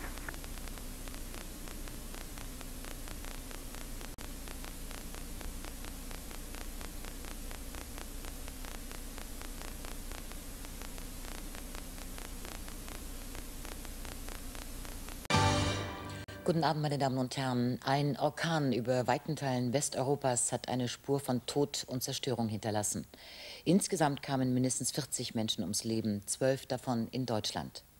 Mit bisher im Binnenland nicht gemessenen Windgeschwindigkeiten war der Sturm von Westen hier über Frankreich und die Schweiz nach Süddeutschland gezogen. Flughäfen wurden geschlossen, zahlreiche Autobahnen und Bahnstrecken waren blockiert. Vielerorts fiel der Strom aus. Ein Block des Kernkraftwerkes Biblis musste wegen Leitungsschäden vorübergehend vom Netz genommen werden. In Baden-Württemberg riefen die Behörden die Bewohner auf, ihre Häuser nicht zu verlassen. Orkanböen mit bis zu 200 Stundenkilometern fegten am Vormittag über Süddeutschland und hinterließen eine Spur der Verwüstung. Umstürzende Bäume wurden mindestens neun Menschen zum Verhängnis. In Ettlingen, Nagold und Herrischried im Schwarzwald stürzten Bäume auf Autos und töteten die Insassen. Im Kreis Esslingen wurde eine Spaziergängerin von einem entwurzelten Baum erschlagen. Sie starb noch am Unglücksort. Auch auf der Autobahn im Bereich Pforzheim kamen zwei Menschen bei einem Verkehrsunfall ums Leben. Auf den Straßen ging teilweise nichts mehr. Wie hier im Südschwarzwald waren die Strecken stundenlang blockiert. Technisches Hilfswerk und Feuerwehr waren im Dauereinsatz. Abartig, sowas habe ich noch nie erlebt. Ich bin also jetzt über 20 Jahre in der Feuerwehr, sowas habe ich noch nie erlebt. Wie hier in Lörrach hatte der Orkan in ganz Süddeutschland zahlreiche Dächer abgedeckt. In vielen Orten fiel der Strom aus, weil herabstürzende Äste die Leitungen zerrissen hatten. Im Schwarzwald waren Bäume wie Streichhölzer umgeknickt und hatten ganze Schneisen in den Wald gerissen. Sogar die Bundeswehr mit Bergpanzern musste ausrücken. In der Nähe von Donaueschingen war ein Nahverkehrszug entgleist. Die 250 Reisenden kamen mit dem Schrecken davon. Die Strecke Freiburg-München ist immer noch gesperrt. Auf den Bahnhöfen und Flughäfen in Süddeutschland gab es zahlreiche Verspätungen. Tausende von Reisenden kamen nicht mehr vom Fleck. Feuerwehr und technisches Hilfswerk werden noch die ganze Nacht und die nächsten Tage im Einsatz sein. Mit am schwersten betroffen vom Orkan war Frankreich. Dort gab es mindestens 20 Todesopfer. Hunderttausende Haushalte blieben ohne Strom. In Paris war es der schwerste Sturm seit Bestehen der Wetteraufzeichnungen.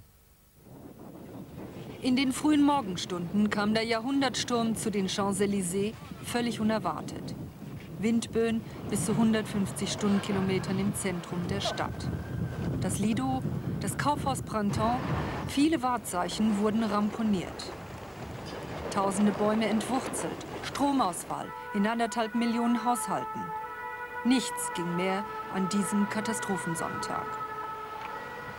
Am internationalen Flughafen Orly wüteten am Morgen Böen bis zu 170 Stundenkilometern Geschwindigkeit. Alle Flüge wurden gestrichen. Erst gegen Abend entspannte sich die Lage etwas. Stillstand auch bei der Bahn. Der Reiseverkehr ist auch morgen schwer beeinträchtigt. Kräne knickten um wie Streichhölzer. Sie kann es kaum fassen. Wir haben den Bürgermeister angerufen und die Polizei. Niemand konnte etwas tun. Die Behörden waren völlig überfordert. Telefonverbindungen brachen zusammen. Darum ist die Bilanz dieses Unwetters noch ungenau. Das Fernsehen nannte 22 Tote. Hier auf der Autobahn bei Rennen im Norden stammen vier junge Menschen in ihrem Auto, als ein Baum auf die Fahrbahn stürzte. Die Champs-Élysées sind zur Stunde noch für den Verkehr gesperrt. Jede zweite U-Bahn-Linie fährt nicht mehr. Die Riesenräder für die Silvesterfeier werden zum Teil wieder abgebaut. Morgen sind noch alle Parks und öffentlichen Gärten in Paris für das Publikum geschlossen. Polizei, Feuerwehr und Zivilschutz müssen jetzt Tag und Nacht arbeiten, um die Hauptstadt für die Silvesterfeierlichkeiten wiederherzurichten. Im Schweizer Wintersportort Crans-Montana kam ein Fahrgast dieser Seilbahn ums Leben, als ein umstürzender Baum eine der Kabinen zu Boden riss. Vier weitere Fahrgäste konnten verletzt geborgen werden. Insgesamt starben in der Schweiz neun Menschen bei Unfällen. In weiten Teilen der Alpen besteht erhöhte Lawinengefahr wegen starker Schneeverwehungen. Sturmwarnungen auch in tieferen Lagen, wie hier am Genfer See, beschädigte der Orkan Boote, Autos und Häuser. Im Kanton Luzern richtete er verheerende Waldschäden an. Schätzungen zufolge sollen eine Million Kubikmeter Holz vom Sturm gefällt worden sein.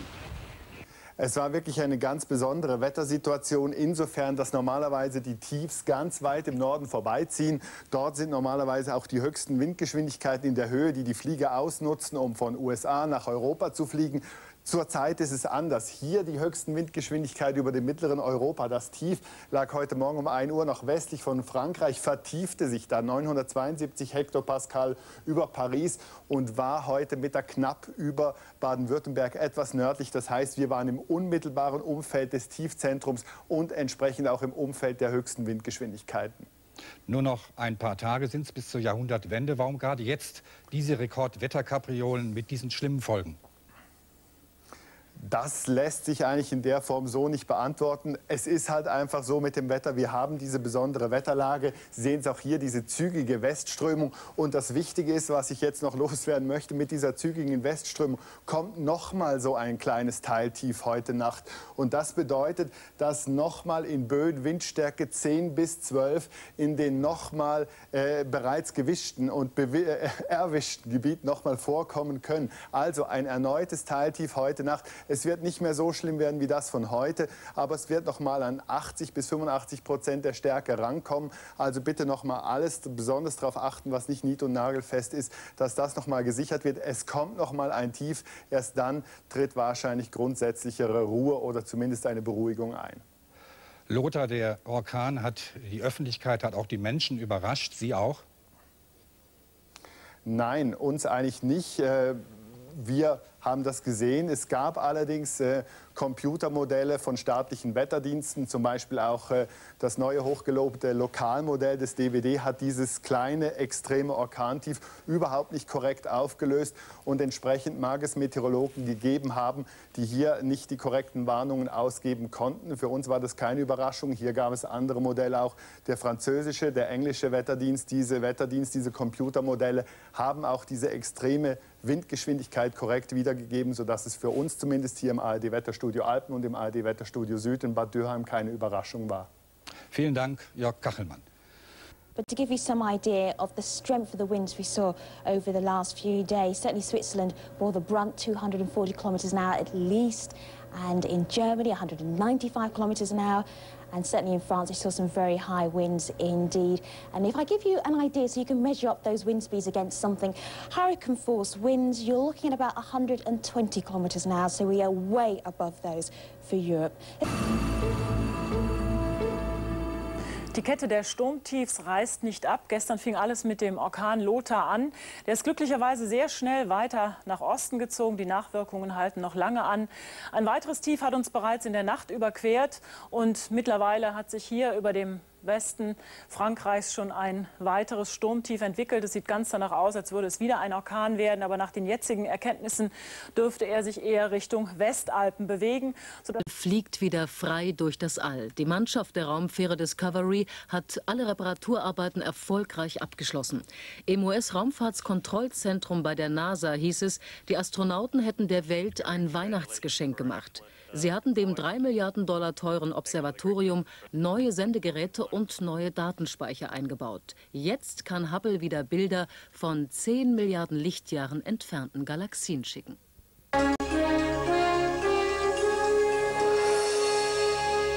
An upgrade for the Hubble Space Telescope and why it matters.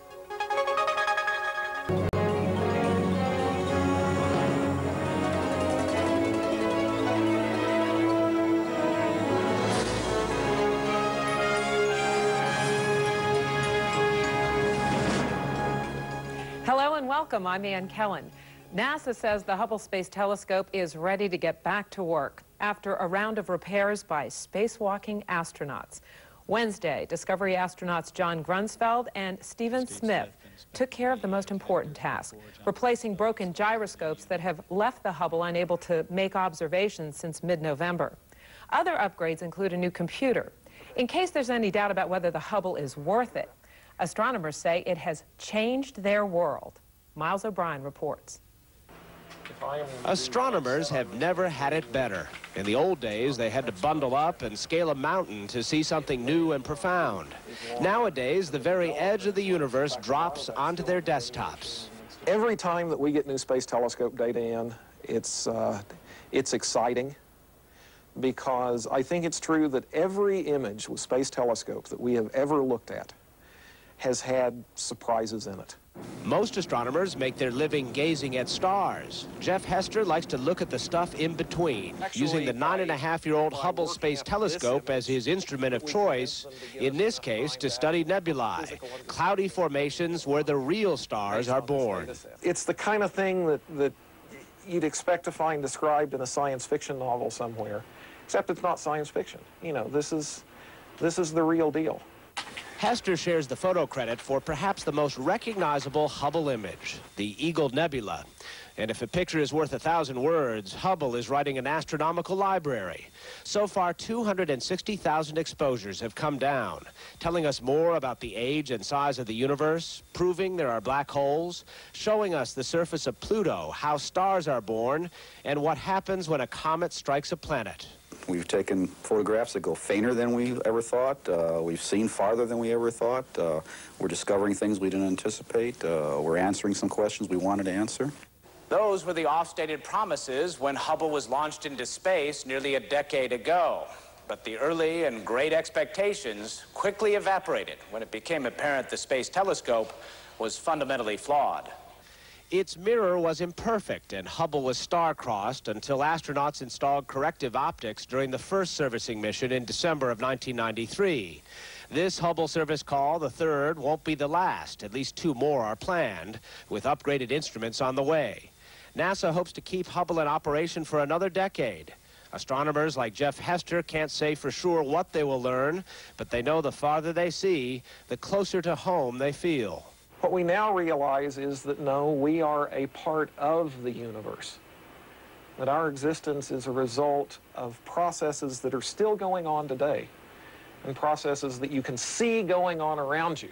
It all amounts to a renaissance for astronomy and for a telescope whose name was once synonymous with failure. For Science and Technology Week, I'm Miles O'Brien. A rocket launched Monday night carried an unusual combination of payloads. It included a NASA satellite that will study how the sun affects climate change and 36 capsules of cremated human remains. A Houston company arranges launches of remains from people who had a special fondness for space. The lipstick-sized capsules of ashes stay in a container, which is expected to orbit the Earth for about 45 years before it re-enters the atmosphere and burns up. This week's launch included cremated remains from China, Germany, Japan, and the United States. The crew wrapped up their mission to repair the Hubble telescope Saturday. They installed new gyroscopes, a new central computer, and a new guidance sensor and radio transmitter. NASA wants to have the shuttle on the ground before the new year to avoid any possible Y2K computer glitches. It's scheduled to land in Florida in about three and a half hours from now, weather permitting. Now, for a check of the weather for the shuttle landing and the rest of the U.S., let's join Femi Oke at the International Weather Center. Thanks, John. Do you see how sensational the Earth looked from that shuttle? Absolutely amazing. Those astronauts certainly have a bird's eye view of our weather. As for the US weather, what can we see? We have a weather front just streaming into the northwest there. A lot of fog around the Washington, Oregon area. This is a bit of a fish storm, so ignore that. It's out in the sea. We don't really need to worry about that too much. As we head across to the Great Lakes, we are seeing some snow there. And also an old boundary creating some cloudiness for the New England states just on that eastern seaboard there. So, shuttle weather for landing. Two places the shuttle could land, where they would like to land, Kennedy Space Center. Have a look at this weather front here, just stretching across Florida. It means there may be some showers in there, maybe some cloud. Ideal landing weather, you need about 10 miles of visibility, and cloud no, long, no lower than around about 10,000 feet. We call that a cloud ceiling.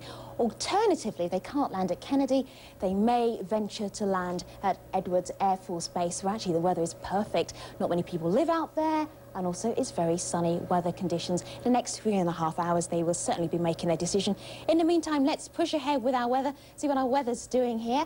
And uh, it's misbehaving dramatically, so let's move back to the satellite picture, and I'll be able to move it on for you on our satellite picture instead. And we do see those fronts moving in, so that weather is going to advance, certainly for tonight. And also conditions not too bad for the southeast, although they are a little bit on the cool side. Let's head back to your... Having a look to see what the weather's like for the arrival of the shuttle Discovery. In about an hour's time, they're hoping to be landing. Let's see what the weather's looking like down by the Kennedy Space Center. We have cloud. Look at this weather front here, possibly some showers. If they can't land there, Another alternative is heading over to California where the weather is actually very fine indeed. Looking at the bigger picture then for the weather for the US, high pressure so things are quite nice looking and over towards the east coast, again that weather front heading through into Florida. Let's look at NASA's mission to repair the Hubble telescope is over, but the shuttle Discovery crew encountered some delays on its return to Earth.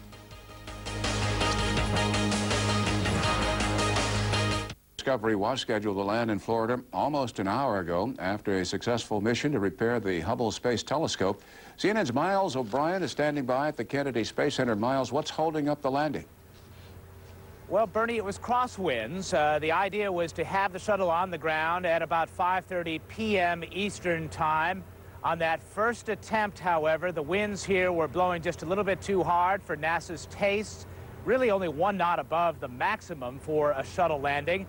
Bear in mind, a shuttle is coming in as a glider. It's a dead stick landing. There's no second opportunity should the pilot get off the center line, so to speak.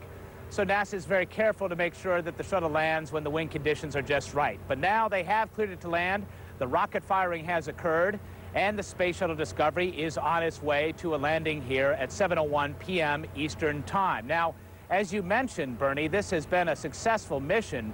And NASA sure needed a success after a year of bad luck with the loss of those two Mars missions. Over the course of three spacewalks, some 24 and a half hours outside in the payload bay of the Space Shuttle Discovery, two teams of spacewalking astronauts installed no less than 13 new boxes into the Hubble Space Telescope, improving its pointing capability, upgrading its computer, improving its ability for its batteries to charge, adding some thermal blankets around it, a series of events to bring the Hubble sort of back up to snuff. You may recall the Hubble went out of business scientifically in the middle of November when its gyroscope complement did in fact fail. Now the release came toward the end of the mission after the accomplishing those uh, spacewalks and the Hubble was placed back into its orbit sort of gleaming there like a Christmas tree on Christmas Day. Uh, and the shuttle is designed to last another 10 years. Astronauts having putting it back in orbit will find out for sure in two weeks if everything is working okay, okay. Of course, as those boxes were installed, they were tested to see if they were alive and if the computer would boot up and so forth. But the proof of the pudding will come in about two weeks when scientists will take their first set of pictures with the refurbished Hubble Space Telescope. Bernie? Miles O'Brien with the very latest from the Kennedy Space Center live coverage on CNN when the shuttle lands.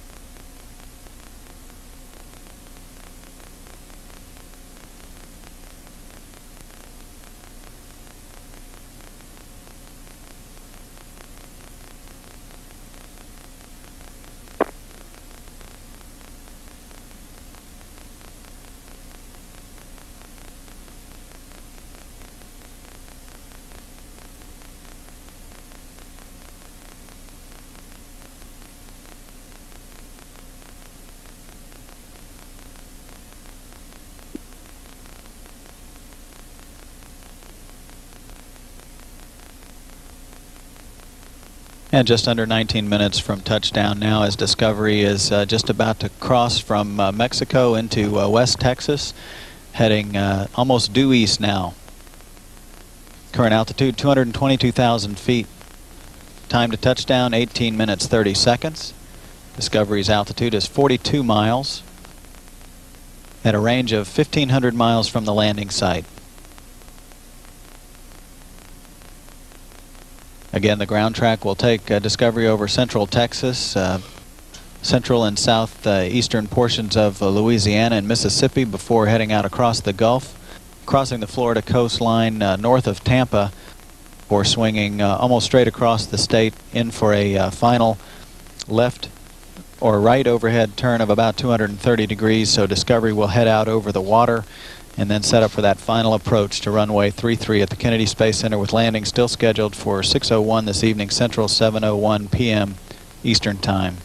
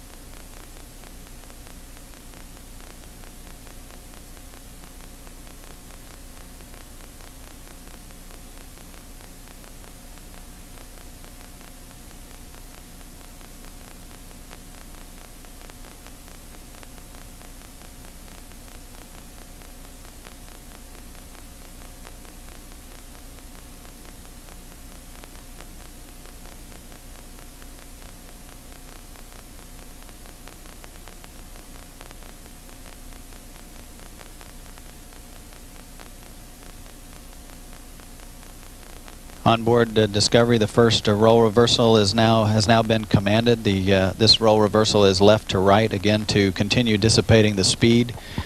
Discovery is now traveling 12,300 miles per hour with a range to the landing site of 1,100 miles. Time to touchdown 16 minutes 20 seconds. Discovery's altitude is 206,000 feet as the orbiter passes across central Texas on its way for the eighth night landing at the Kennedy Space Center in Florida and the 13th night landing in the shuttle program history.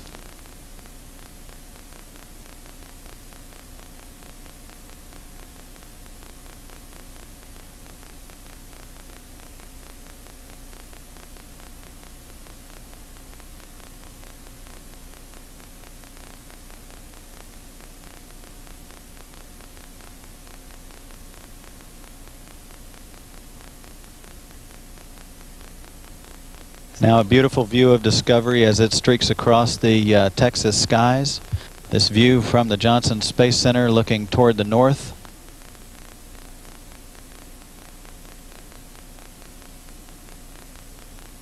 Discovery is at an altitude of 197,000 feet, range to the landing site 924 miles. Time to touchdown 15 minutes 15 seconds. Again, this view of Discovery as it streaks through the atmosphere looking uh, from the Johnson Space Center toward the north.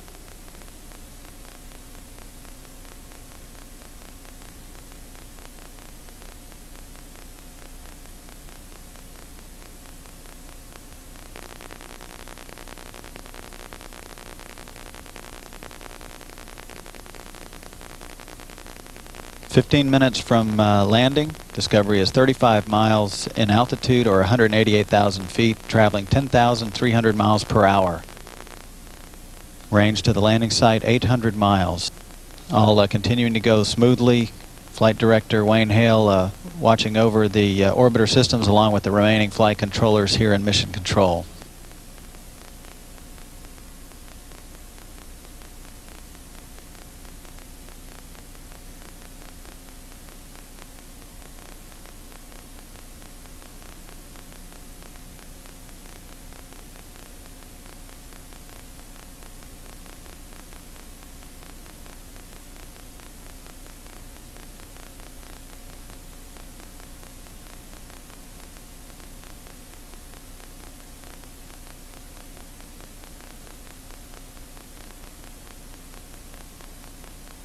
'Discovery now has uh, crossed Louisiana and is now uh, crossing the border between Louisiana and Mississippi. Should cross the uh, Mississippi Gulf Coast around Bay St. Louis and then head out across the Gulf of Mexico. Present altitude is 180,000 feet or 33 miles. Range to the landing site 617 miles. Time to touchdown 13 minutes 25 seconds.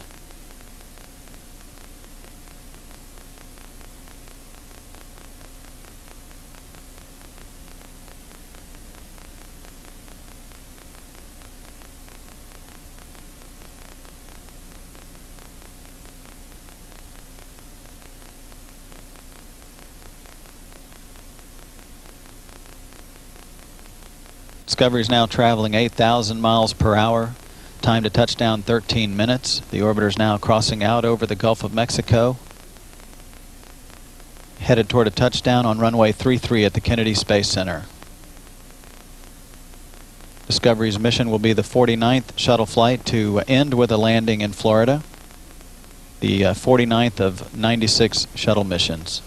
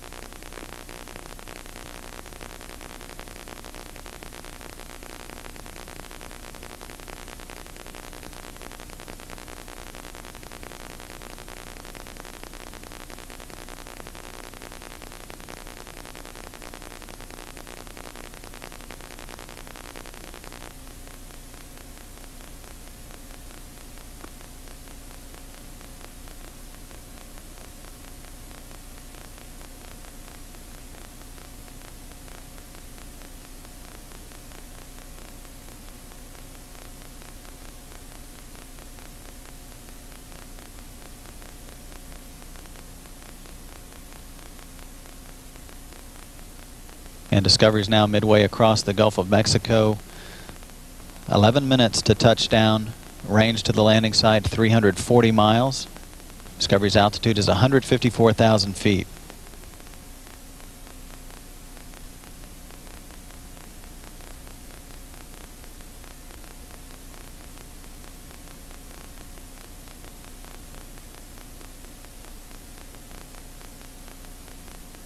Discovery's in the uh, second roll reversal. Discovery Houston, energy, ground track, and nav are go. Take tack TACAN. Copy. Energy, ground track, nav, go. Taking TACANs.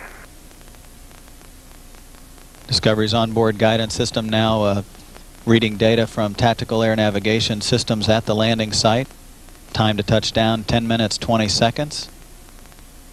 Range 270 miles.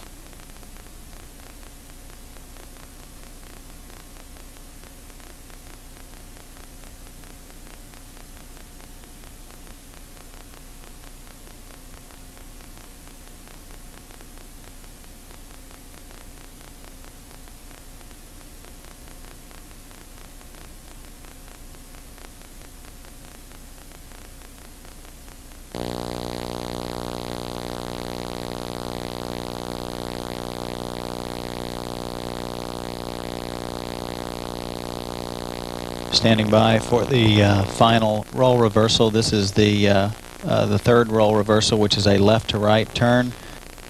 That occurring at uh, Mach 4.4. The uh, orbiter is currently traveling at Mach 6, or about 4,000 miles per hour. Currently at an altitude of 130,000 feet. Range to the landing site 200 miles. Time to touchdown 9 minutes 15 seconds.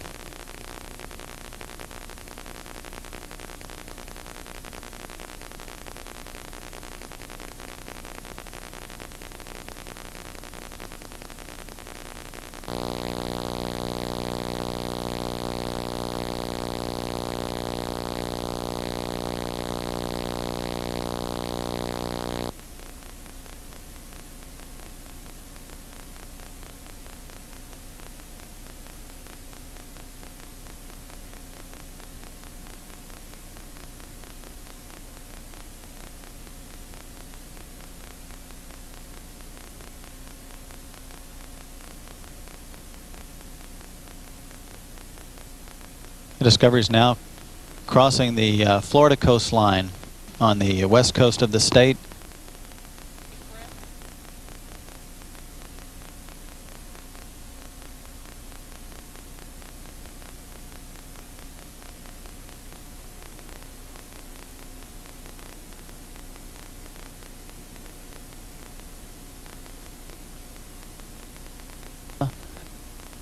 Time to touchdown, eight minutes.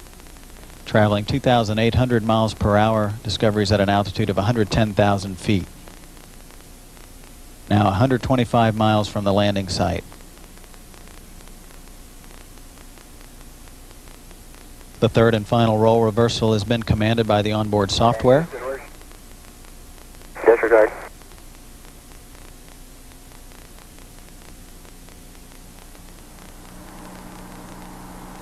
The uh, two air data probes have been deployed on the orbiter's nose. These uh, taking real-time uh, air samples and providing that to the onboard navigation system.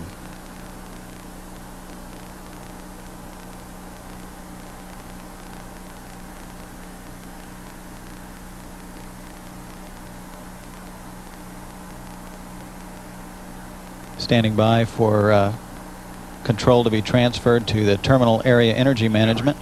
Take air data. Discovery copies taken air data.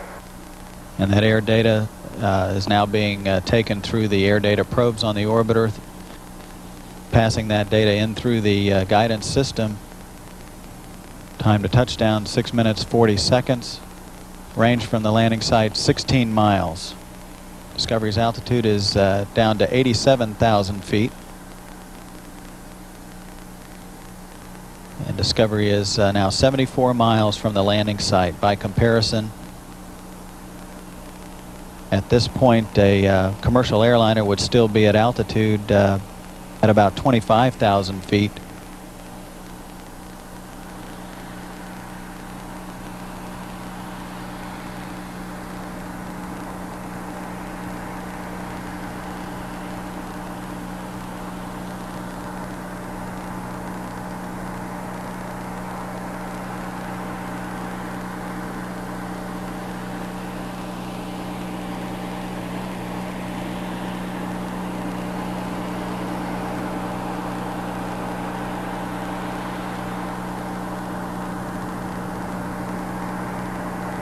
Discovery Houston, nominal approaching the hack. Winds are now 2506 peak 9. That'll be all left crosswind. Nominal chute deploy. Discovery copies the weather and nominal chute deploy. Approaching five minutes from touchdown, Discovery's altitude is down to 70,000 feet, or 13 miles, with a range of 70 miles from the landing site. Speed is down to 1,000 miles per hour.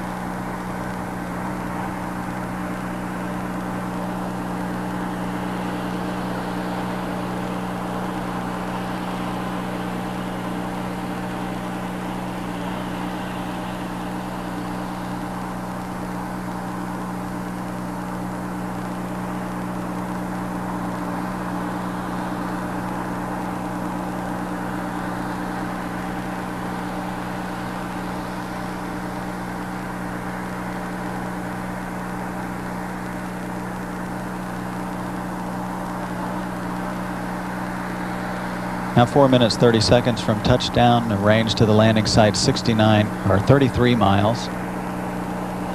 Discovery's altitude is 55,000 feet.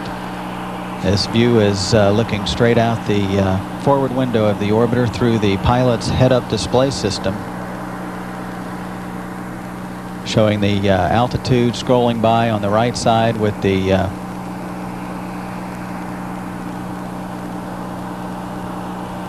Of course, the uh, darkness, this view will come into, we'll see uh, the landing site as the orbiter begins its uh, swing around the heading alignment circle.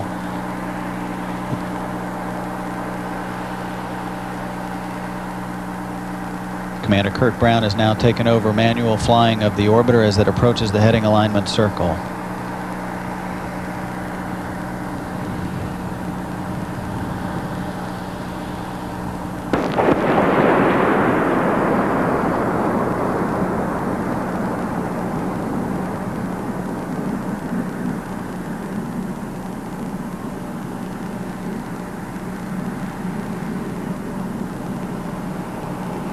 20 miles uh, from the runway now at an altitude of 36,000 feet.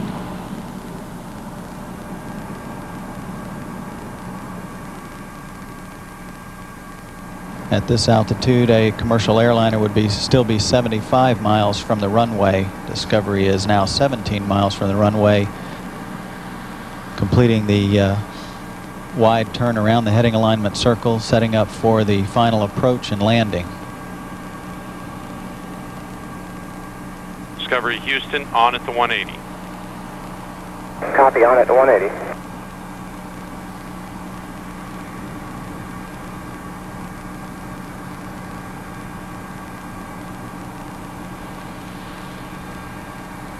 Infrared cameras uh, capturing Discovery's uh, final approach and landing with about two minutes to go to touchdown.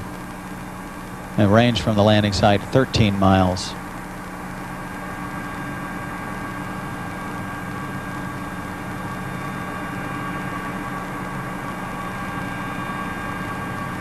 Discovery Houston on at the 90. Tire message is a deucer, no action. It may toggle on.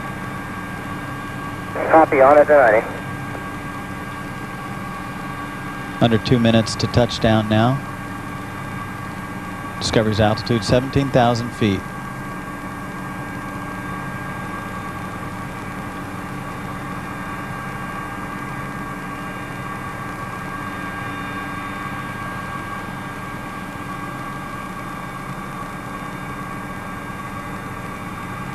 At this point in the flight of a commercial airliner, the landing gear would be down.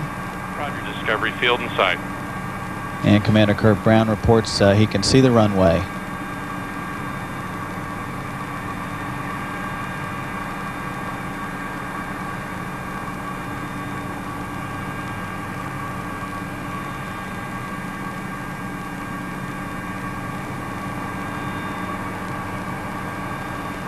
The next step will be the pre-flare maneuver to set up for the final approach and landing with pilot Scott Kelly putting the landing gear down at about the altitude of three, uh, 300 feet.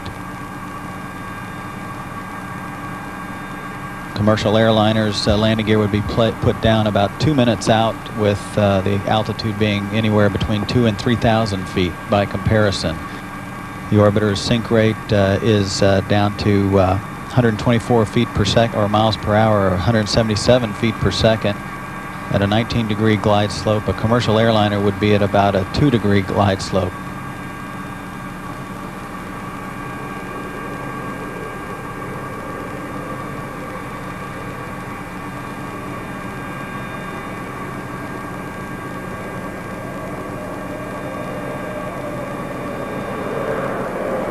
pre-flare maneuver now at the uh,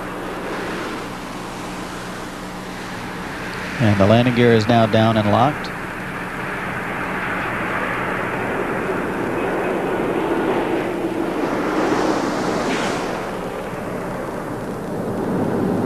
Main gear touchdown.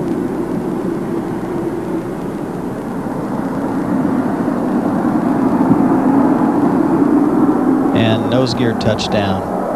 Discovery rolling out on runway 33 at the Kennedy Space Center following a three and a quarter million mile journey to restore the Hubble Space Telescope back to full service. This is the 20th landing in a row at the Kennedy Space Center and the 49th to return to Florida in the history of the Space Shuttle program.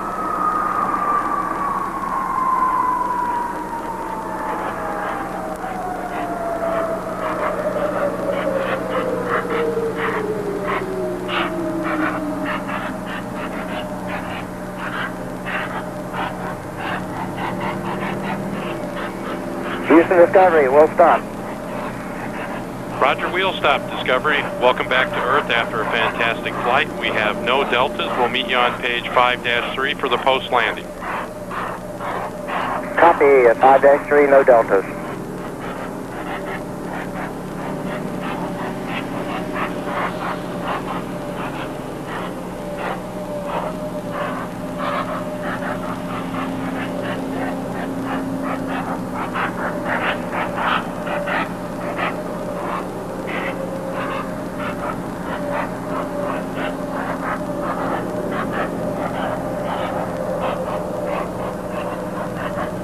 Discovery now uh, has completed its uh, 27th voyage in space, the 96th uh, mission in the shuttle program. The uh, convoy team now moving into place uh, around the orbiter as it sits on the concrete runway of the shuttle landing facility at the Kennedy Space Center. Crew members now will go through safing procedures for the next 30 to 40 minutes or so before climbing out of the orbiter to ensure that Discovery is in a safe configuration before handing the vehicle over to the convoy team. Houston, uh, we need RAD reconfig now on page 5-8 at the top of the page. Copy page 5-8 inward.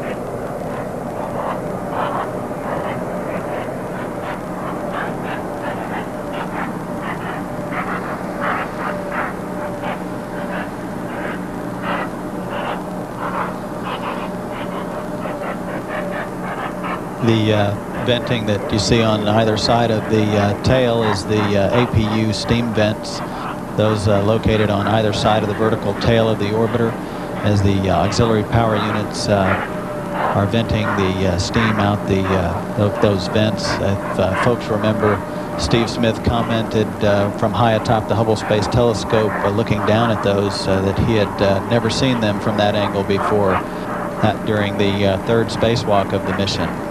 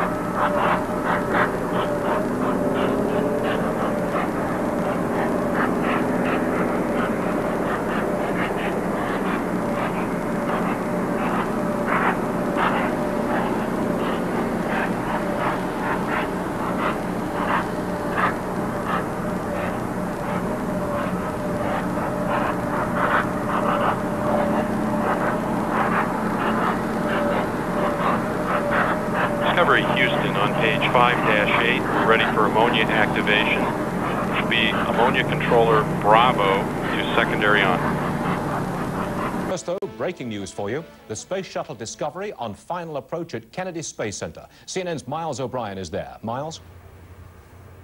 Stuart, let's take a look at some live pictures coming from NASA television. These are infrared pictures shot by long-range tracking cameras here at the Kennedy Space Center. And that white blur in the middle of your screen there is the Space Shuttle Discovery, having traveled some 3 million miles, 120 orbits. Let's listen in as Curt Brown lands her.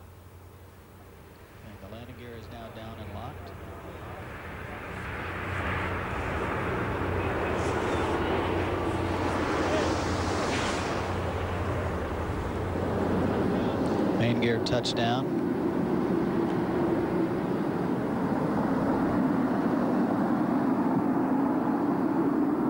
And nose gear touchdown. Discovery rolling out on runway 33 at the Kennedy Space Center following a three and a quarter million mile journey to restore the Hubble Space Telescope back to full service. This is the 20th landing in a row at the Kennedy Space Center. The voice of Kyle Herring at NASA's uh, Johnson Space Center in Houston. Curt Brown bringing the Space Shuttle Discovery in for its 27th landing. The 96th Space Shuttle mission ends. The 13th night landing of a space shuttle. The 20th consecutive landing here at the Kennedy Space Center. The third Hubble repair mission having been successfully completed Workers here will waste little time right now. They will get the orbiter into its hangar, button it up, shut it down in time for the clock to turn 2000. Miles O'Brien, CNN, live from the Kennedy Space Center. Discovery ist nach ihrem achttägigen Ausflug ins All in der Nacht wieder sicher im Raumfahrtzentrum in Florida gelandet. Die sieben Astronauten hatten während ihrer Mission das Weltraumteleskop Hubble repariert. Nicole Deckers berichtet. Eine Minute nach 1 Uhr deutscher Zeit setzte die Discovery heute früh auf der Landebahn des Kennedy Weltraumzentrums in Cape Canaveral auf, rund anderthalb Stunden später als geplant. Starker Seitenwind hatte die Crew noch mal zu einer Ehrenrunde um den Globus gezwungen. Erleichterung nach der Landung. Wir möchten allen danken, die während der Feiertage so hart gearbeitet und so die Mission zum Erfolg gebracht haben. Dreimal waren die fünf Amerikaner und zwei Europäer ausgestiegen, um das 5,9 Milliarden Mark teure Hubble-Teleskop wieder funktionstüchtig zu machen. Jetzt erwarten die Forscher, dass Hubble in den nächsten zehn Jahren wieder spektakuläre Aufnahmen aus dem All liefert. Space Shuttle Discovery returns to Earth. NASA declares its last mission of the millennium a success.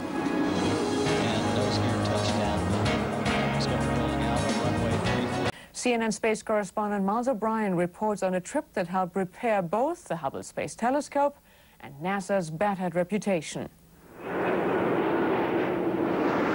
It was the 13th night landing in space shuttle history. NASA's unlucky year ended on a high note. They uh, complete the servicing task of the Hubble Space Telescope. With 24 and a half hours logged on their spacewalking time cards, the staff of the Discovery Optical Shop left the $3 billion Hubble behind, back in business thanks to a daring high-altitude house call. The Hubble payload team reports that the Hubble Space Telescope is in normal mode with gyro control. They cheered because it was a bulky set of gyros that prompted NASA to schedule this urgent repair run in March. By the time Discovery reached the Space Telescope, its pointing system had failed and astronomy had ceased for a month and a half. Perhaps the hardest phase of the mission came before the shuttle reached orbit. A short circuit seconds after Columbia's launch in July prompted a fleet-wide wiring inspection and repair campaign. Then a series of other worker missteps, a bent fuel pipe, a broken drill bit in an engine, crushed cables, and 11th hour concerns about the quality of welds led to no less than nine delays before liftoff. But once in space, Discovery's crew ran like a Swiss watch. Hubble will be serviceable until 2010 easily. And I think it really was the flagship for serviceable spaceships. During three spacewalks, they replaced Hubble's complement of gyroscopes, added electronics that will extend battery life, installed a new computer, a satellite transmitter, a solid-state memory recorder, and then tucked the telescope in with some new thermal blankets. If uh, the telescope were still in the bay and needed more help, we'd certainly all want to go out and do it again. When they left, Hubble was looking good and running well. After a year of stunning setbacks for NASA's space science campaign, the agency hopes this is the image that lingers. But shuttle workers will have to wait to savor the moment. They won't waste any time rolling Discovery into its hangar to tuck it in and shut it down before the clock strikes 2000. Miles O'Brien, CNN at the Kennedy Space Center, Florida. Raumfähre Discovery ist heute Nacht sicher in Cape Canaveral gelandet. Über Weihnachten hatten die sieben Astronauten an Bord das Weltraumteleskop Hubble repariert. Das kann uns jetzt wieder imposante Bilder fremder Galaxien liefern. Willkommen auf der Erde. Nach einem großartigen Flug war die Begrüßung der Astronauten vor ein paar Stunden. Eberhard Pilz berichtet. Perfekte Landung. Etwas verspätet, wie schon der Start, wegen vorübergehend schlechten Wetters am Kennedy Space Center in Florida. Die Discovery-Mannschaft ist nach acht Tagen im All sicher zurück auf der Erde und sie war erfolgreich. Wir haben dieses Jahrhundert mit dem Traum vom Fliegen begonnen, sagt Astronaut Michael Foale. Und in den Vereinigten Staaten haben wir so viel erreicht. Es war toll, das Jahrhundert mit dieser Hubble-Mission zu beenden. Die war eine Reparaturaufgabe. 70 Millionen Dollar für Ersatzteile, Arbeitsstunden der Mechaniker kaum kalkulierbar. Doch für die NASA waren die Kosten kein Thema. Diese Mission musste ein Erfolg werden. Das Selbstvertrauen der US-Raumfahrt stand auf dem Spiel. Erleichterung. Die Weihnachtsmänner im All bescherten pünktlich. Etwas Trost ist das nach den jüngsten Pleiten und Pannen mit den Marssonden. Die eine verschwand, weil metrische und englische Maße verwechselt wurden. Sehr komisch. Warum das Landungsfahrzeug samt Messinstrumenten verscholl, sagt bisher niemand. Vielleicht hört ja eben, ob klein oder grün oder nicht, doch irgendjemand mit da draußen und verbittet sich die Störung. Heute jedenfalls müssen sie nicht traurig Nägel kauen in den Kontrollzentren der NASA. Die Discovery-Astronauten haben das raffinierteste, komplizierteste und teuerste Instrument repariert, mit dem die Menschheit bisher nach den Geheimnissen des Alls geforscht hat. Neue Technik, neue Bilder. Die soll Hubble in einigen Wochen liefern. Vielleicht werden sie mehr enthüllen als die bisher gesendeten. Erde. Nach achttägigem Flug und der Reparatur des Weltraumteleskops Hubble sind die Astronauten der US-Raumfähre Discovery in der vergangenen Nacht in Cape Canaveral gelandet. Wegen schlechten Wetters musste Discovery die Erde einmal mehr umkreisen als vorgesehen. Die Astronauten, darunter zwei Experten der Europäischen Raumfahrtagentur ESA, hatten bei dem Weltraumteleskop neue Stabilisatoren eingebaut und den Zentralcomputer ausgetauscht.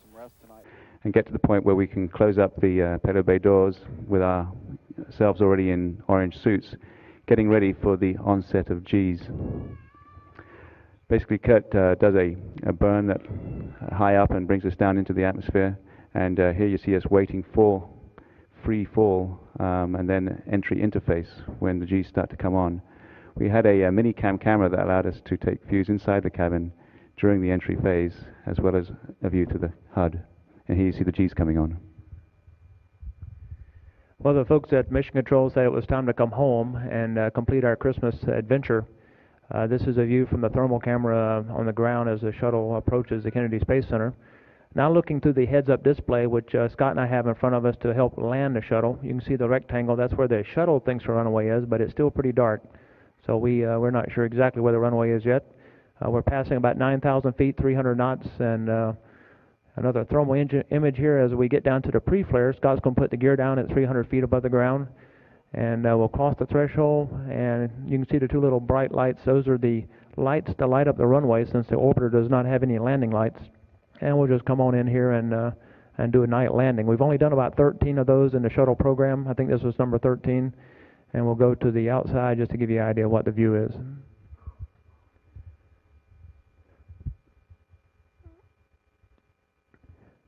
With the orbiter safely on the ground, Scott puts out the drag chute. Uh, that's helped slow us down and also some of the derotation forces on the nose gear, and we slowly start derotating. Again, on the right side, you can see the runway centerline lights, and here's a view back through the HUD again on the centerline lights.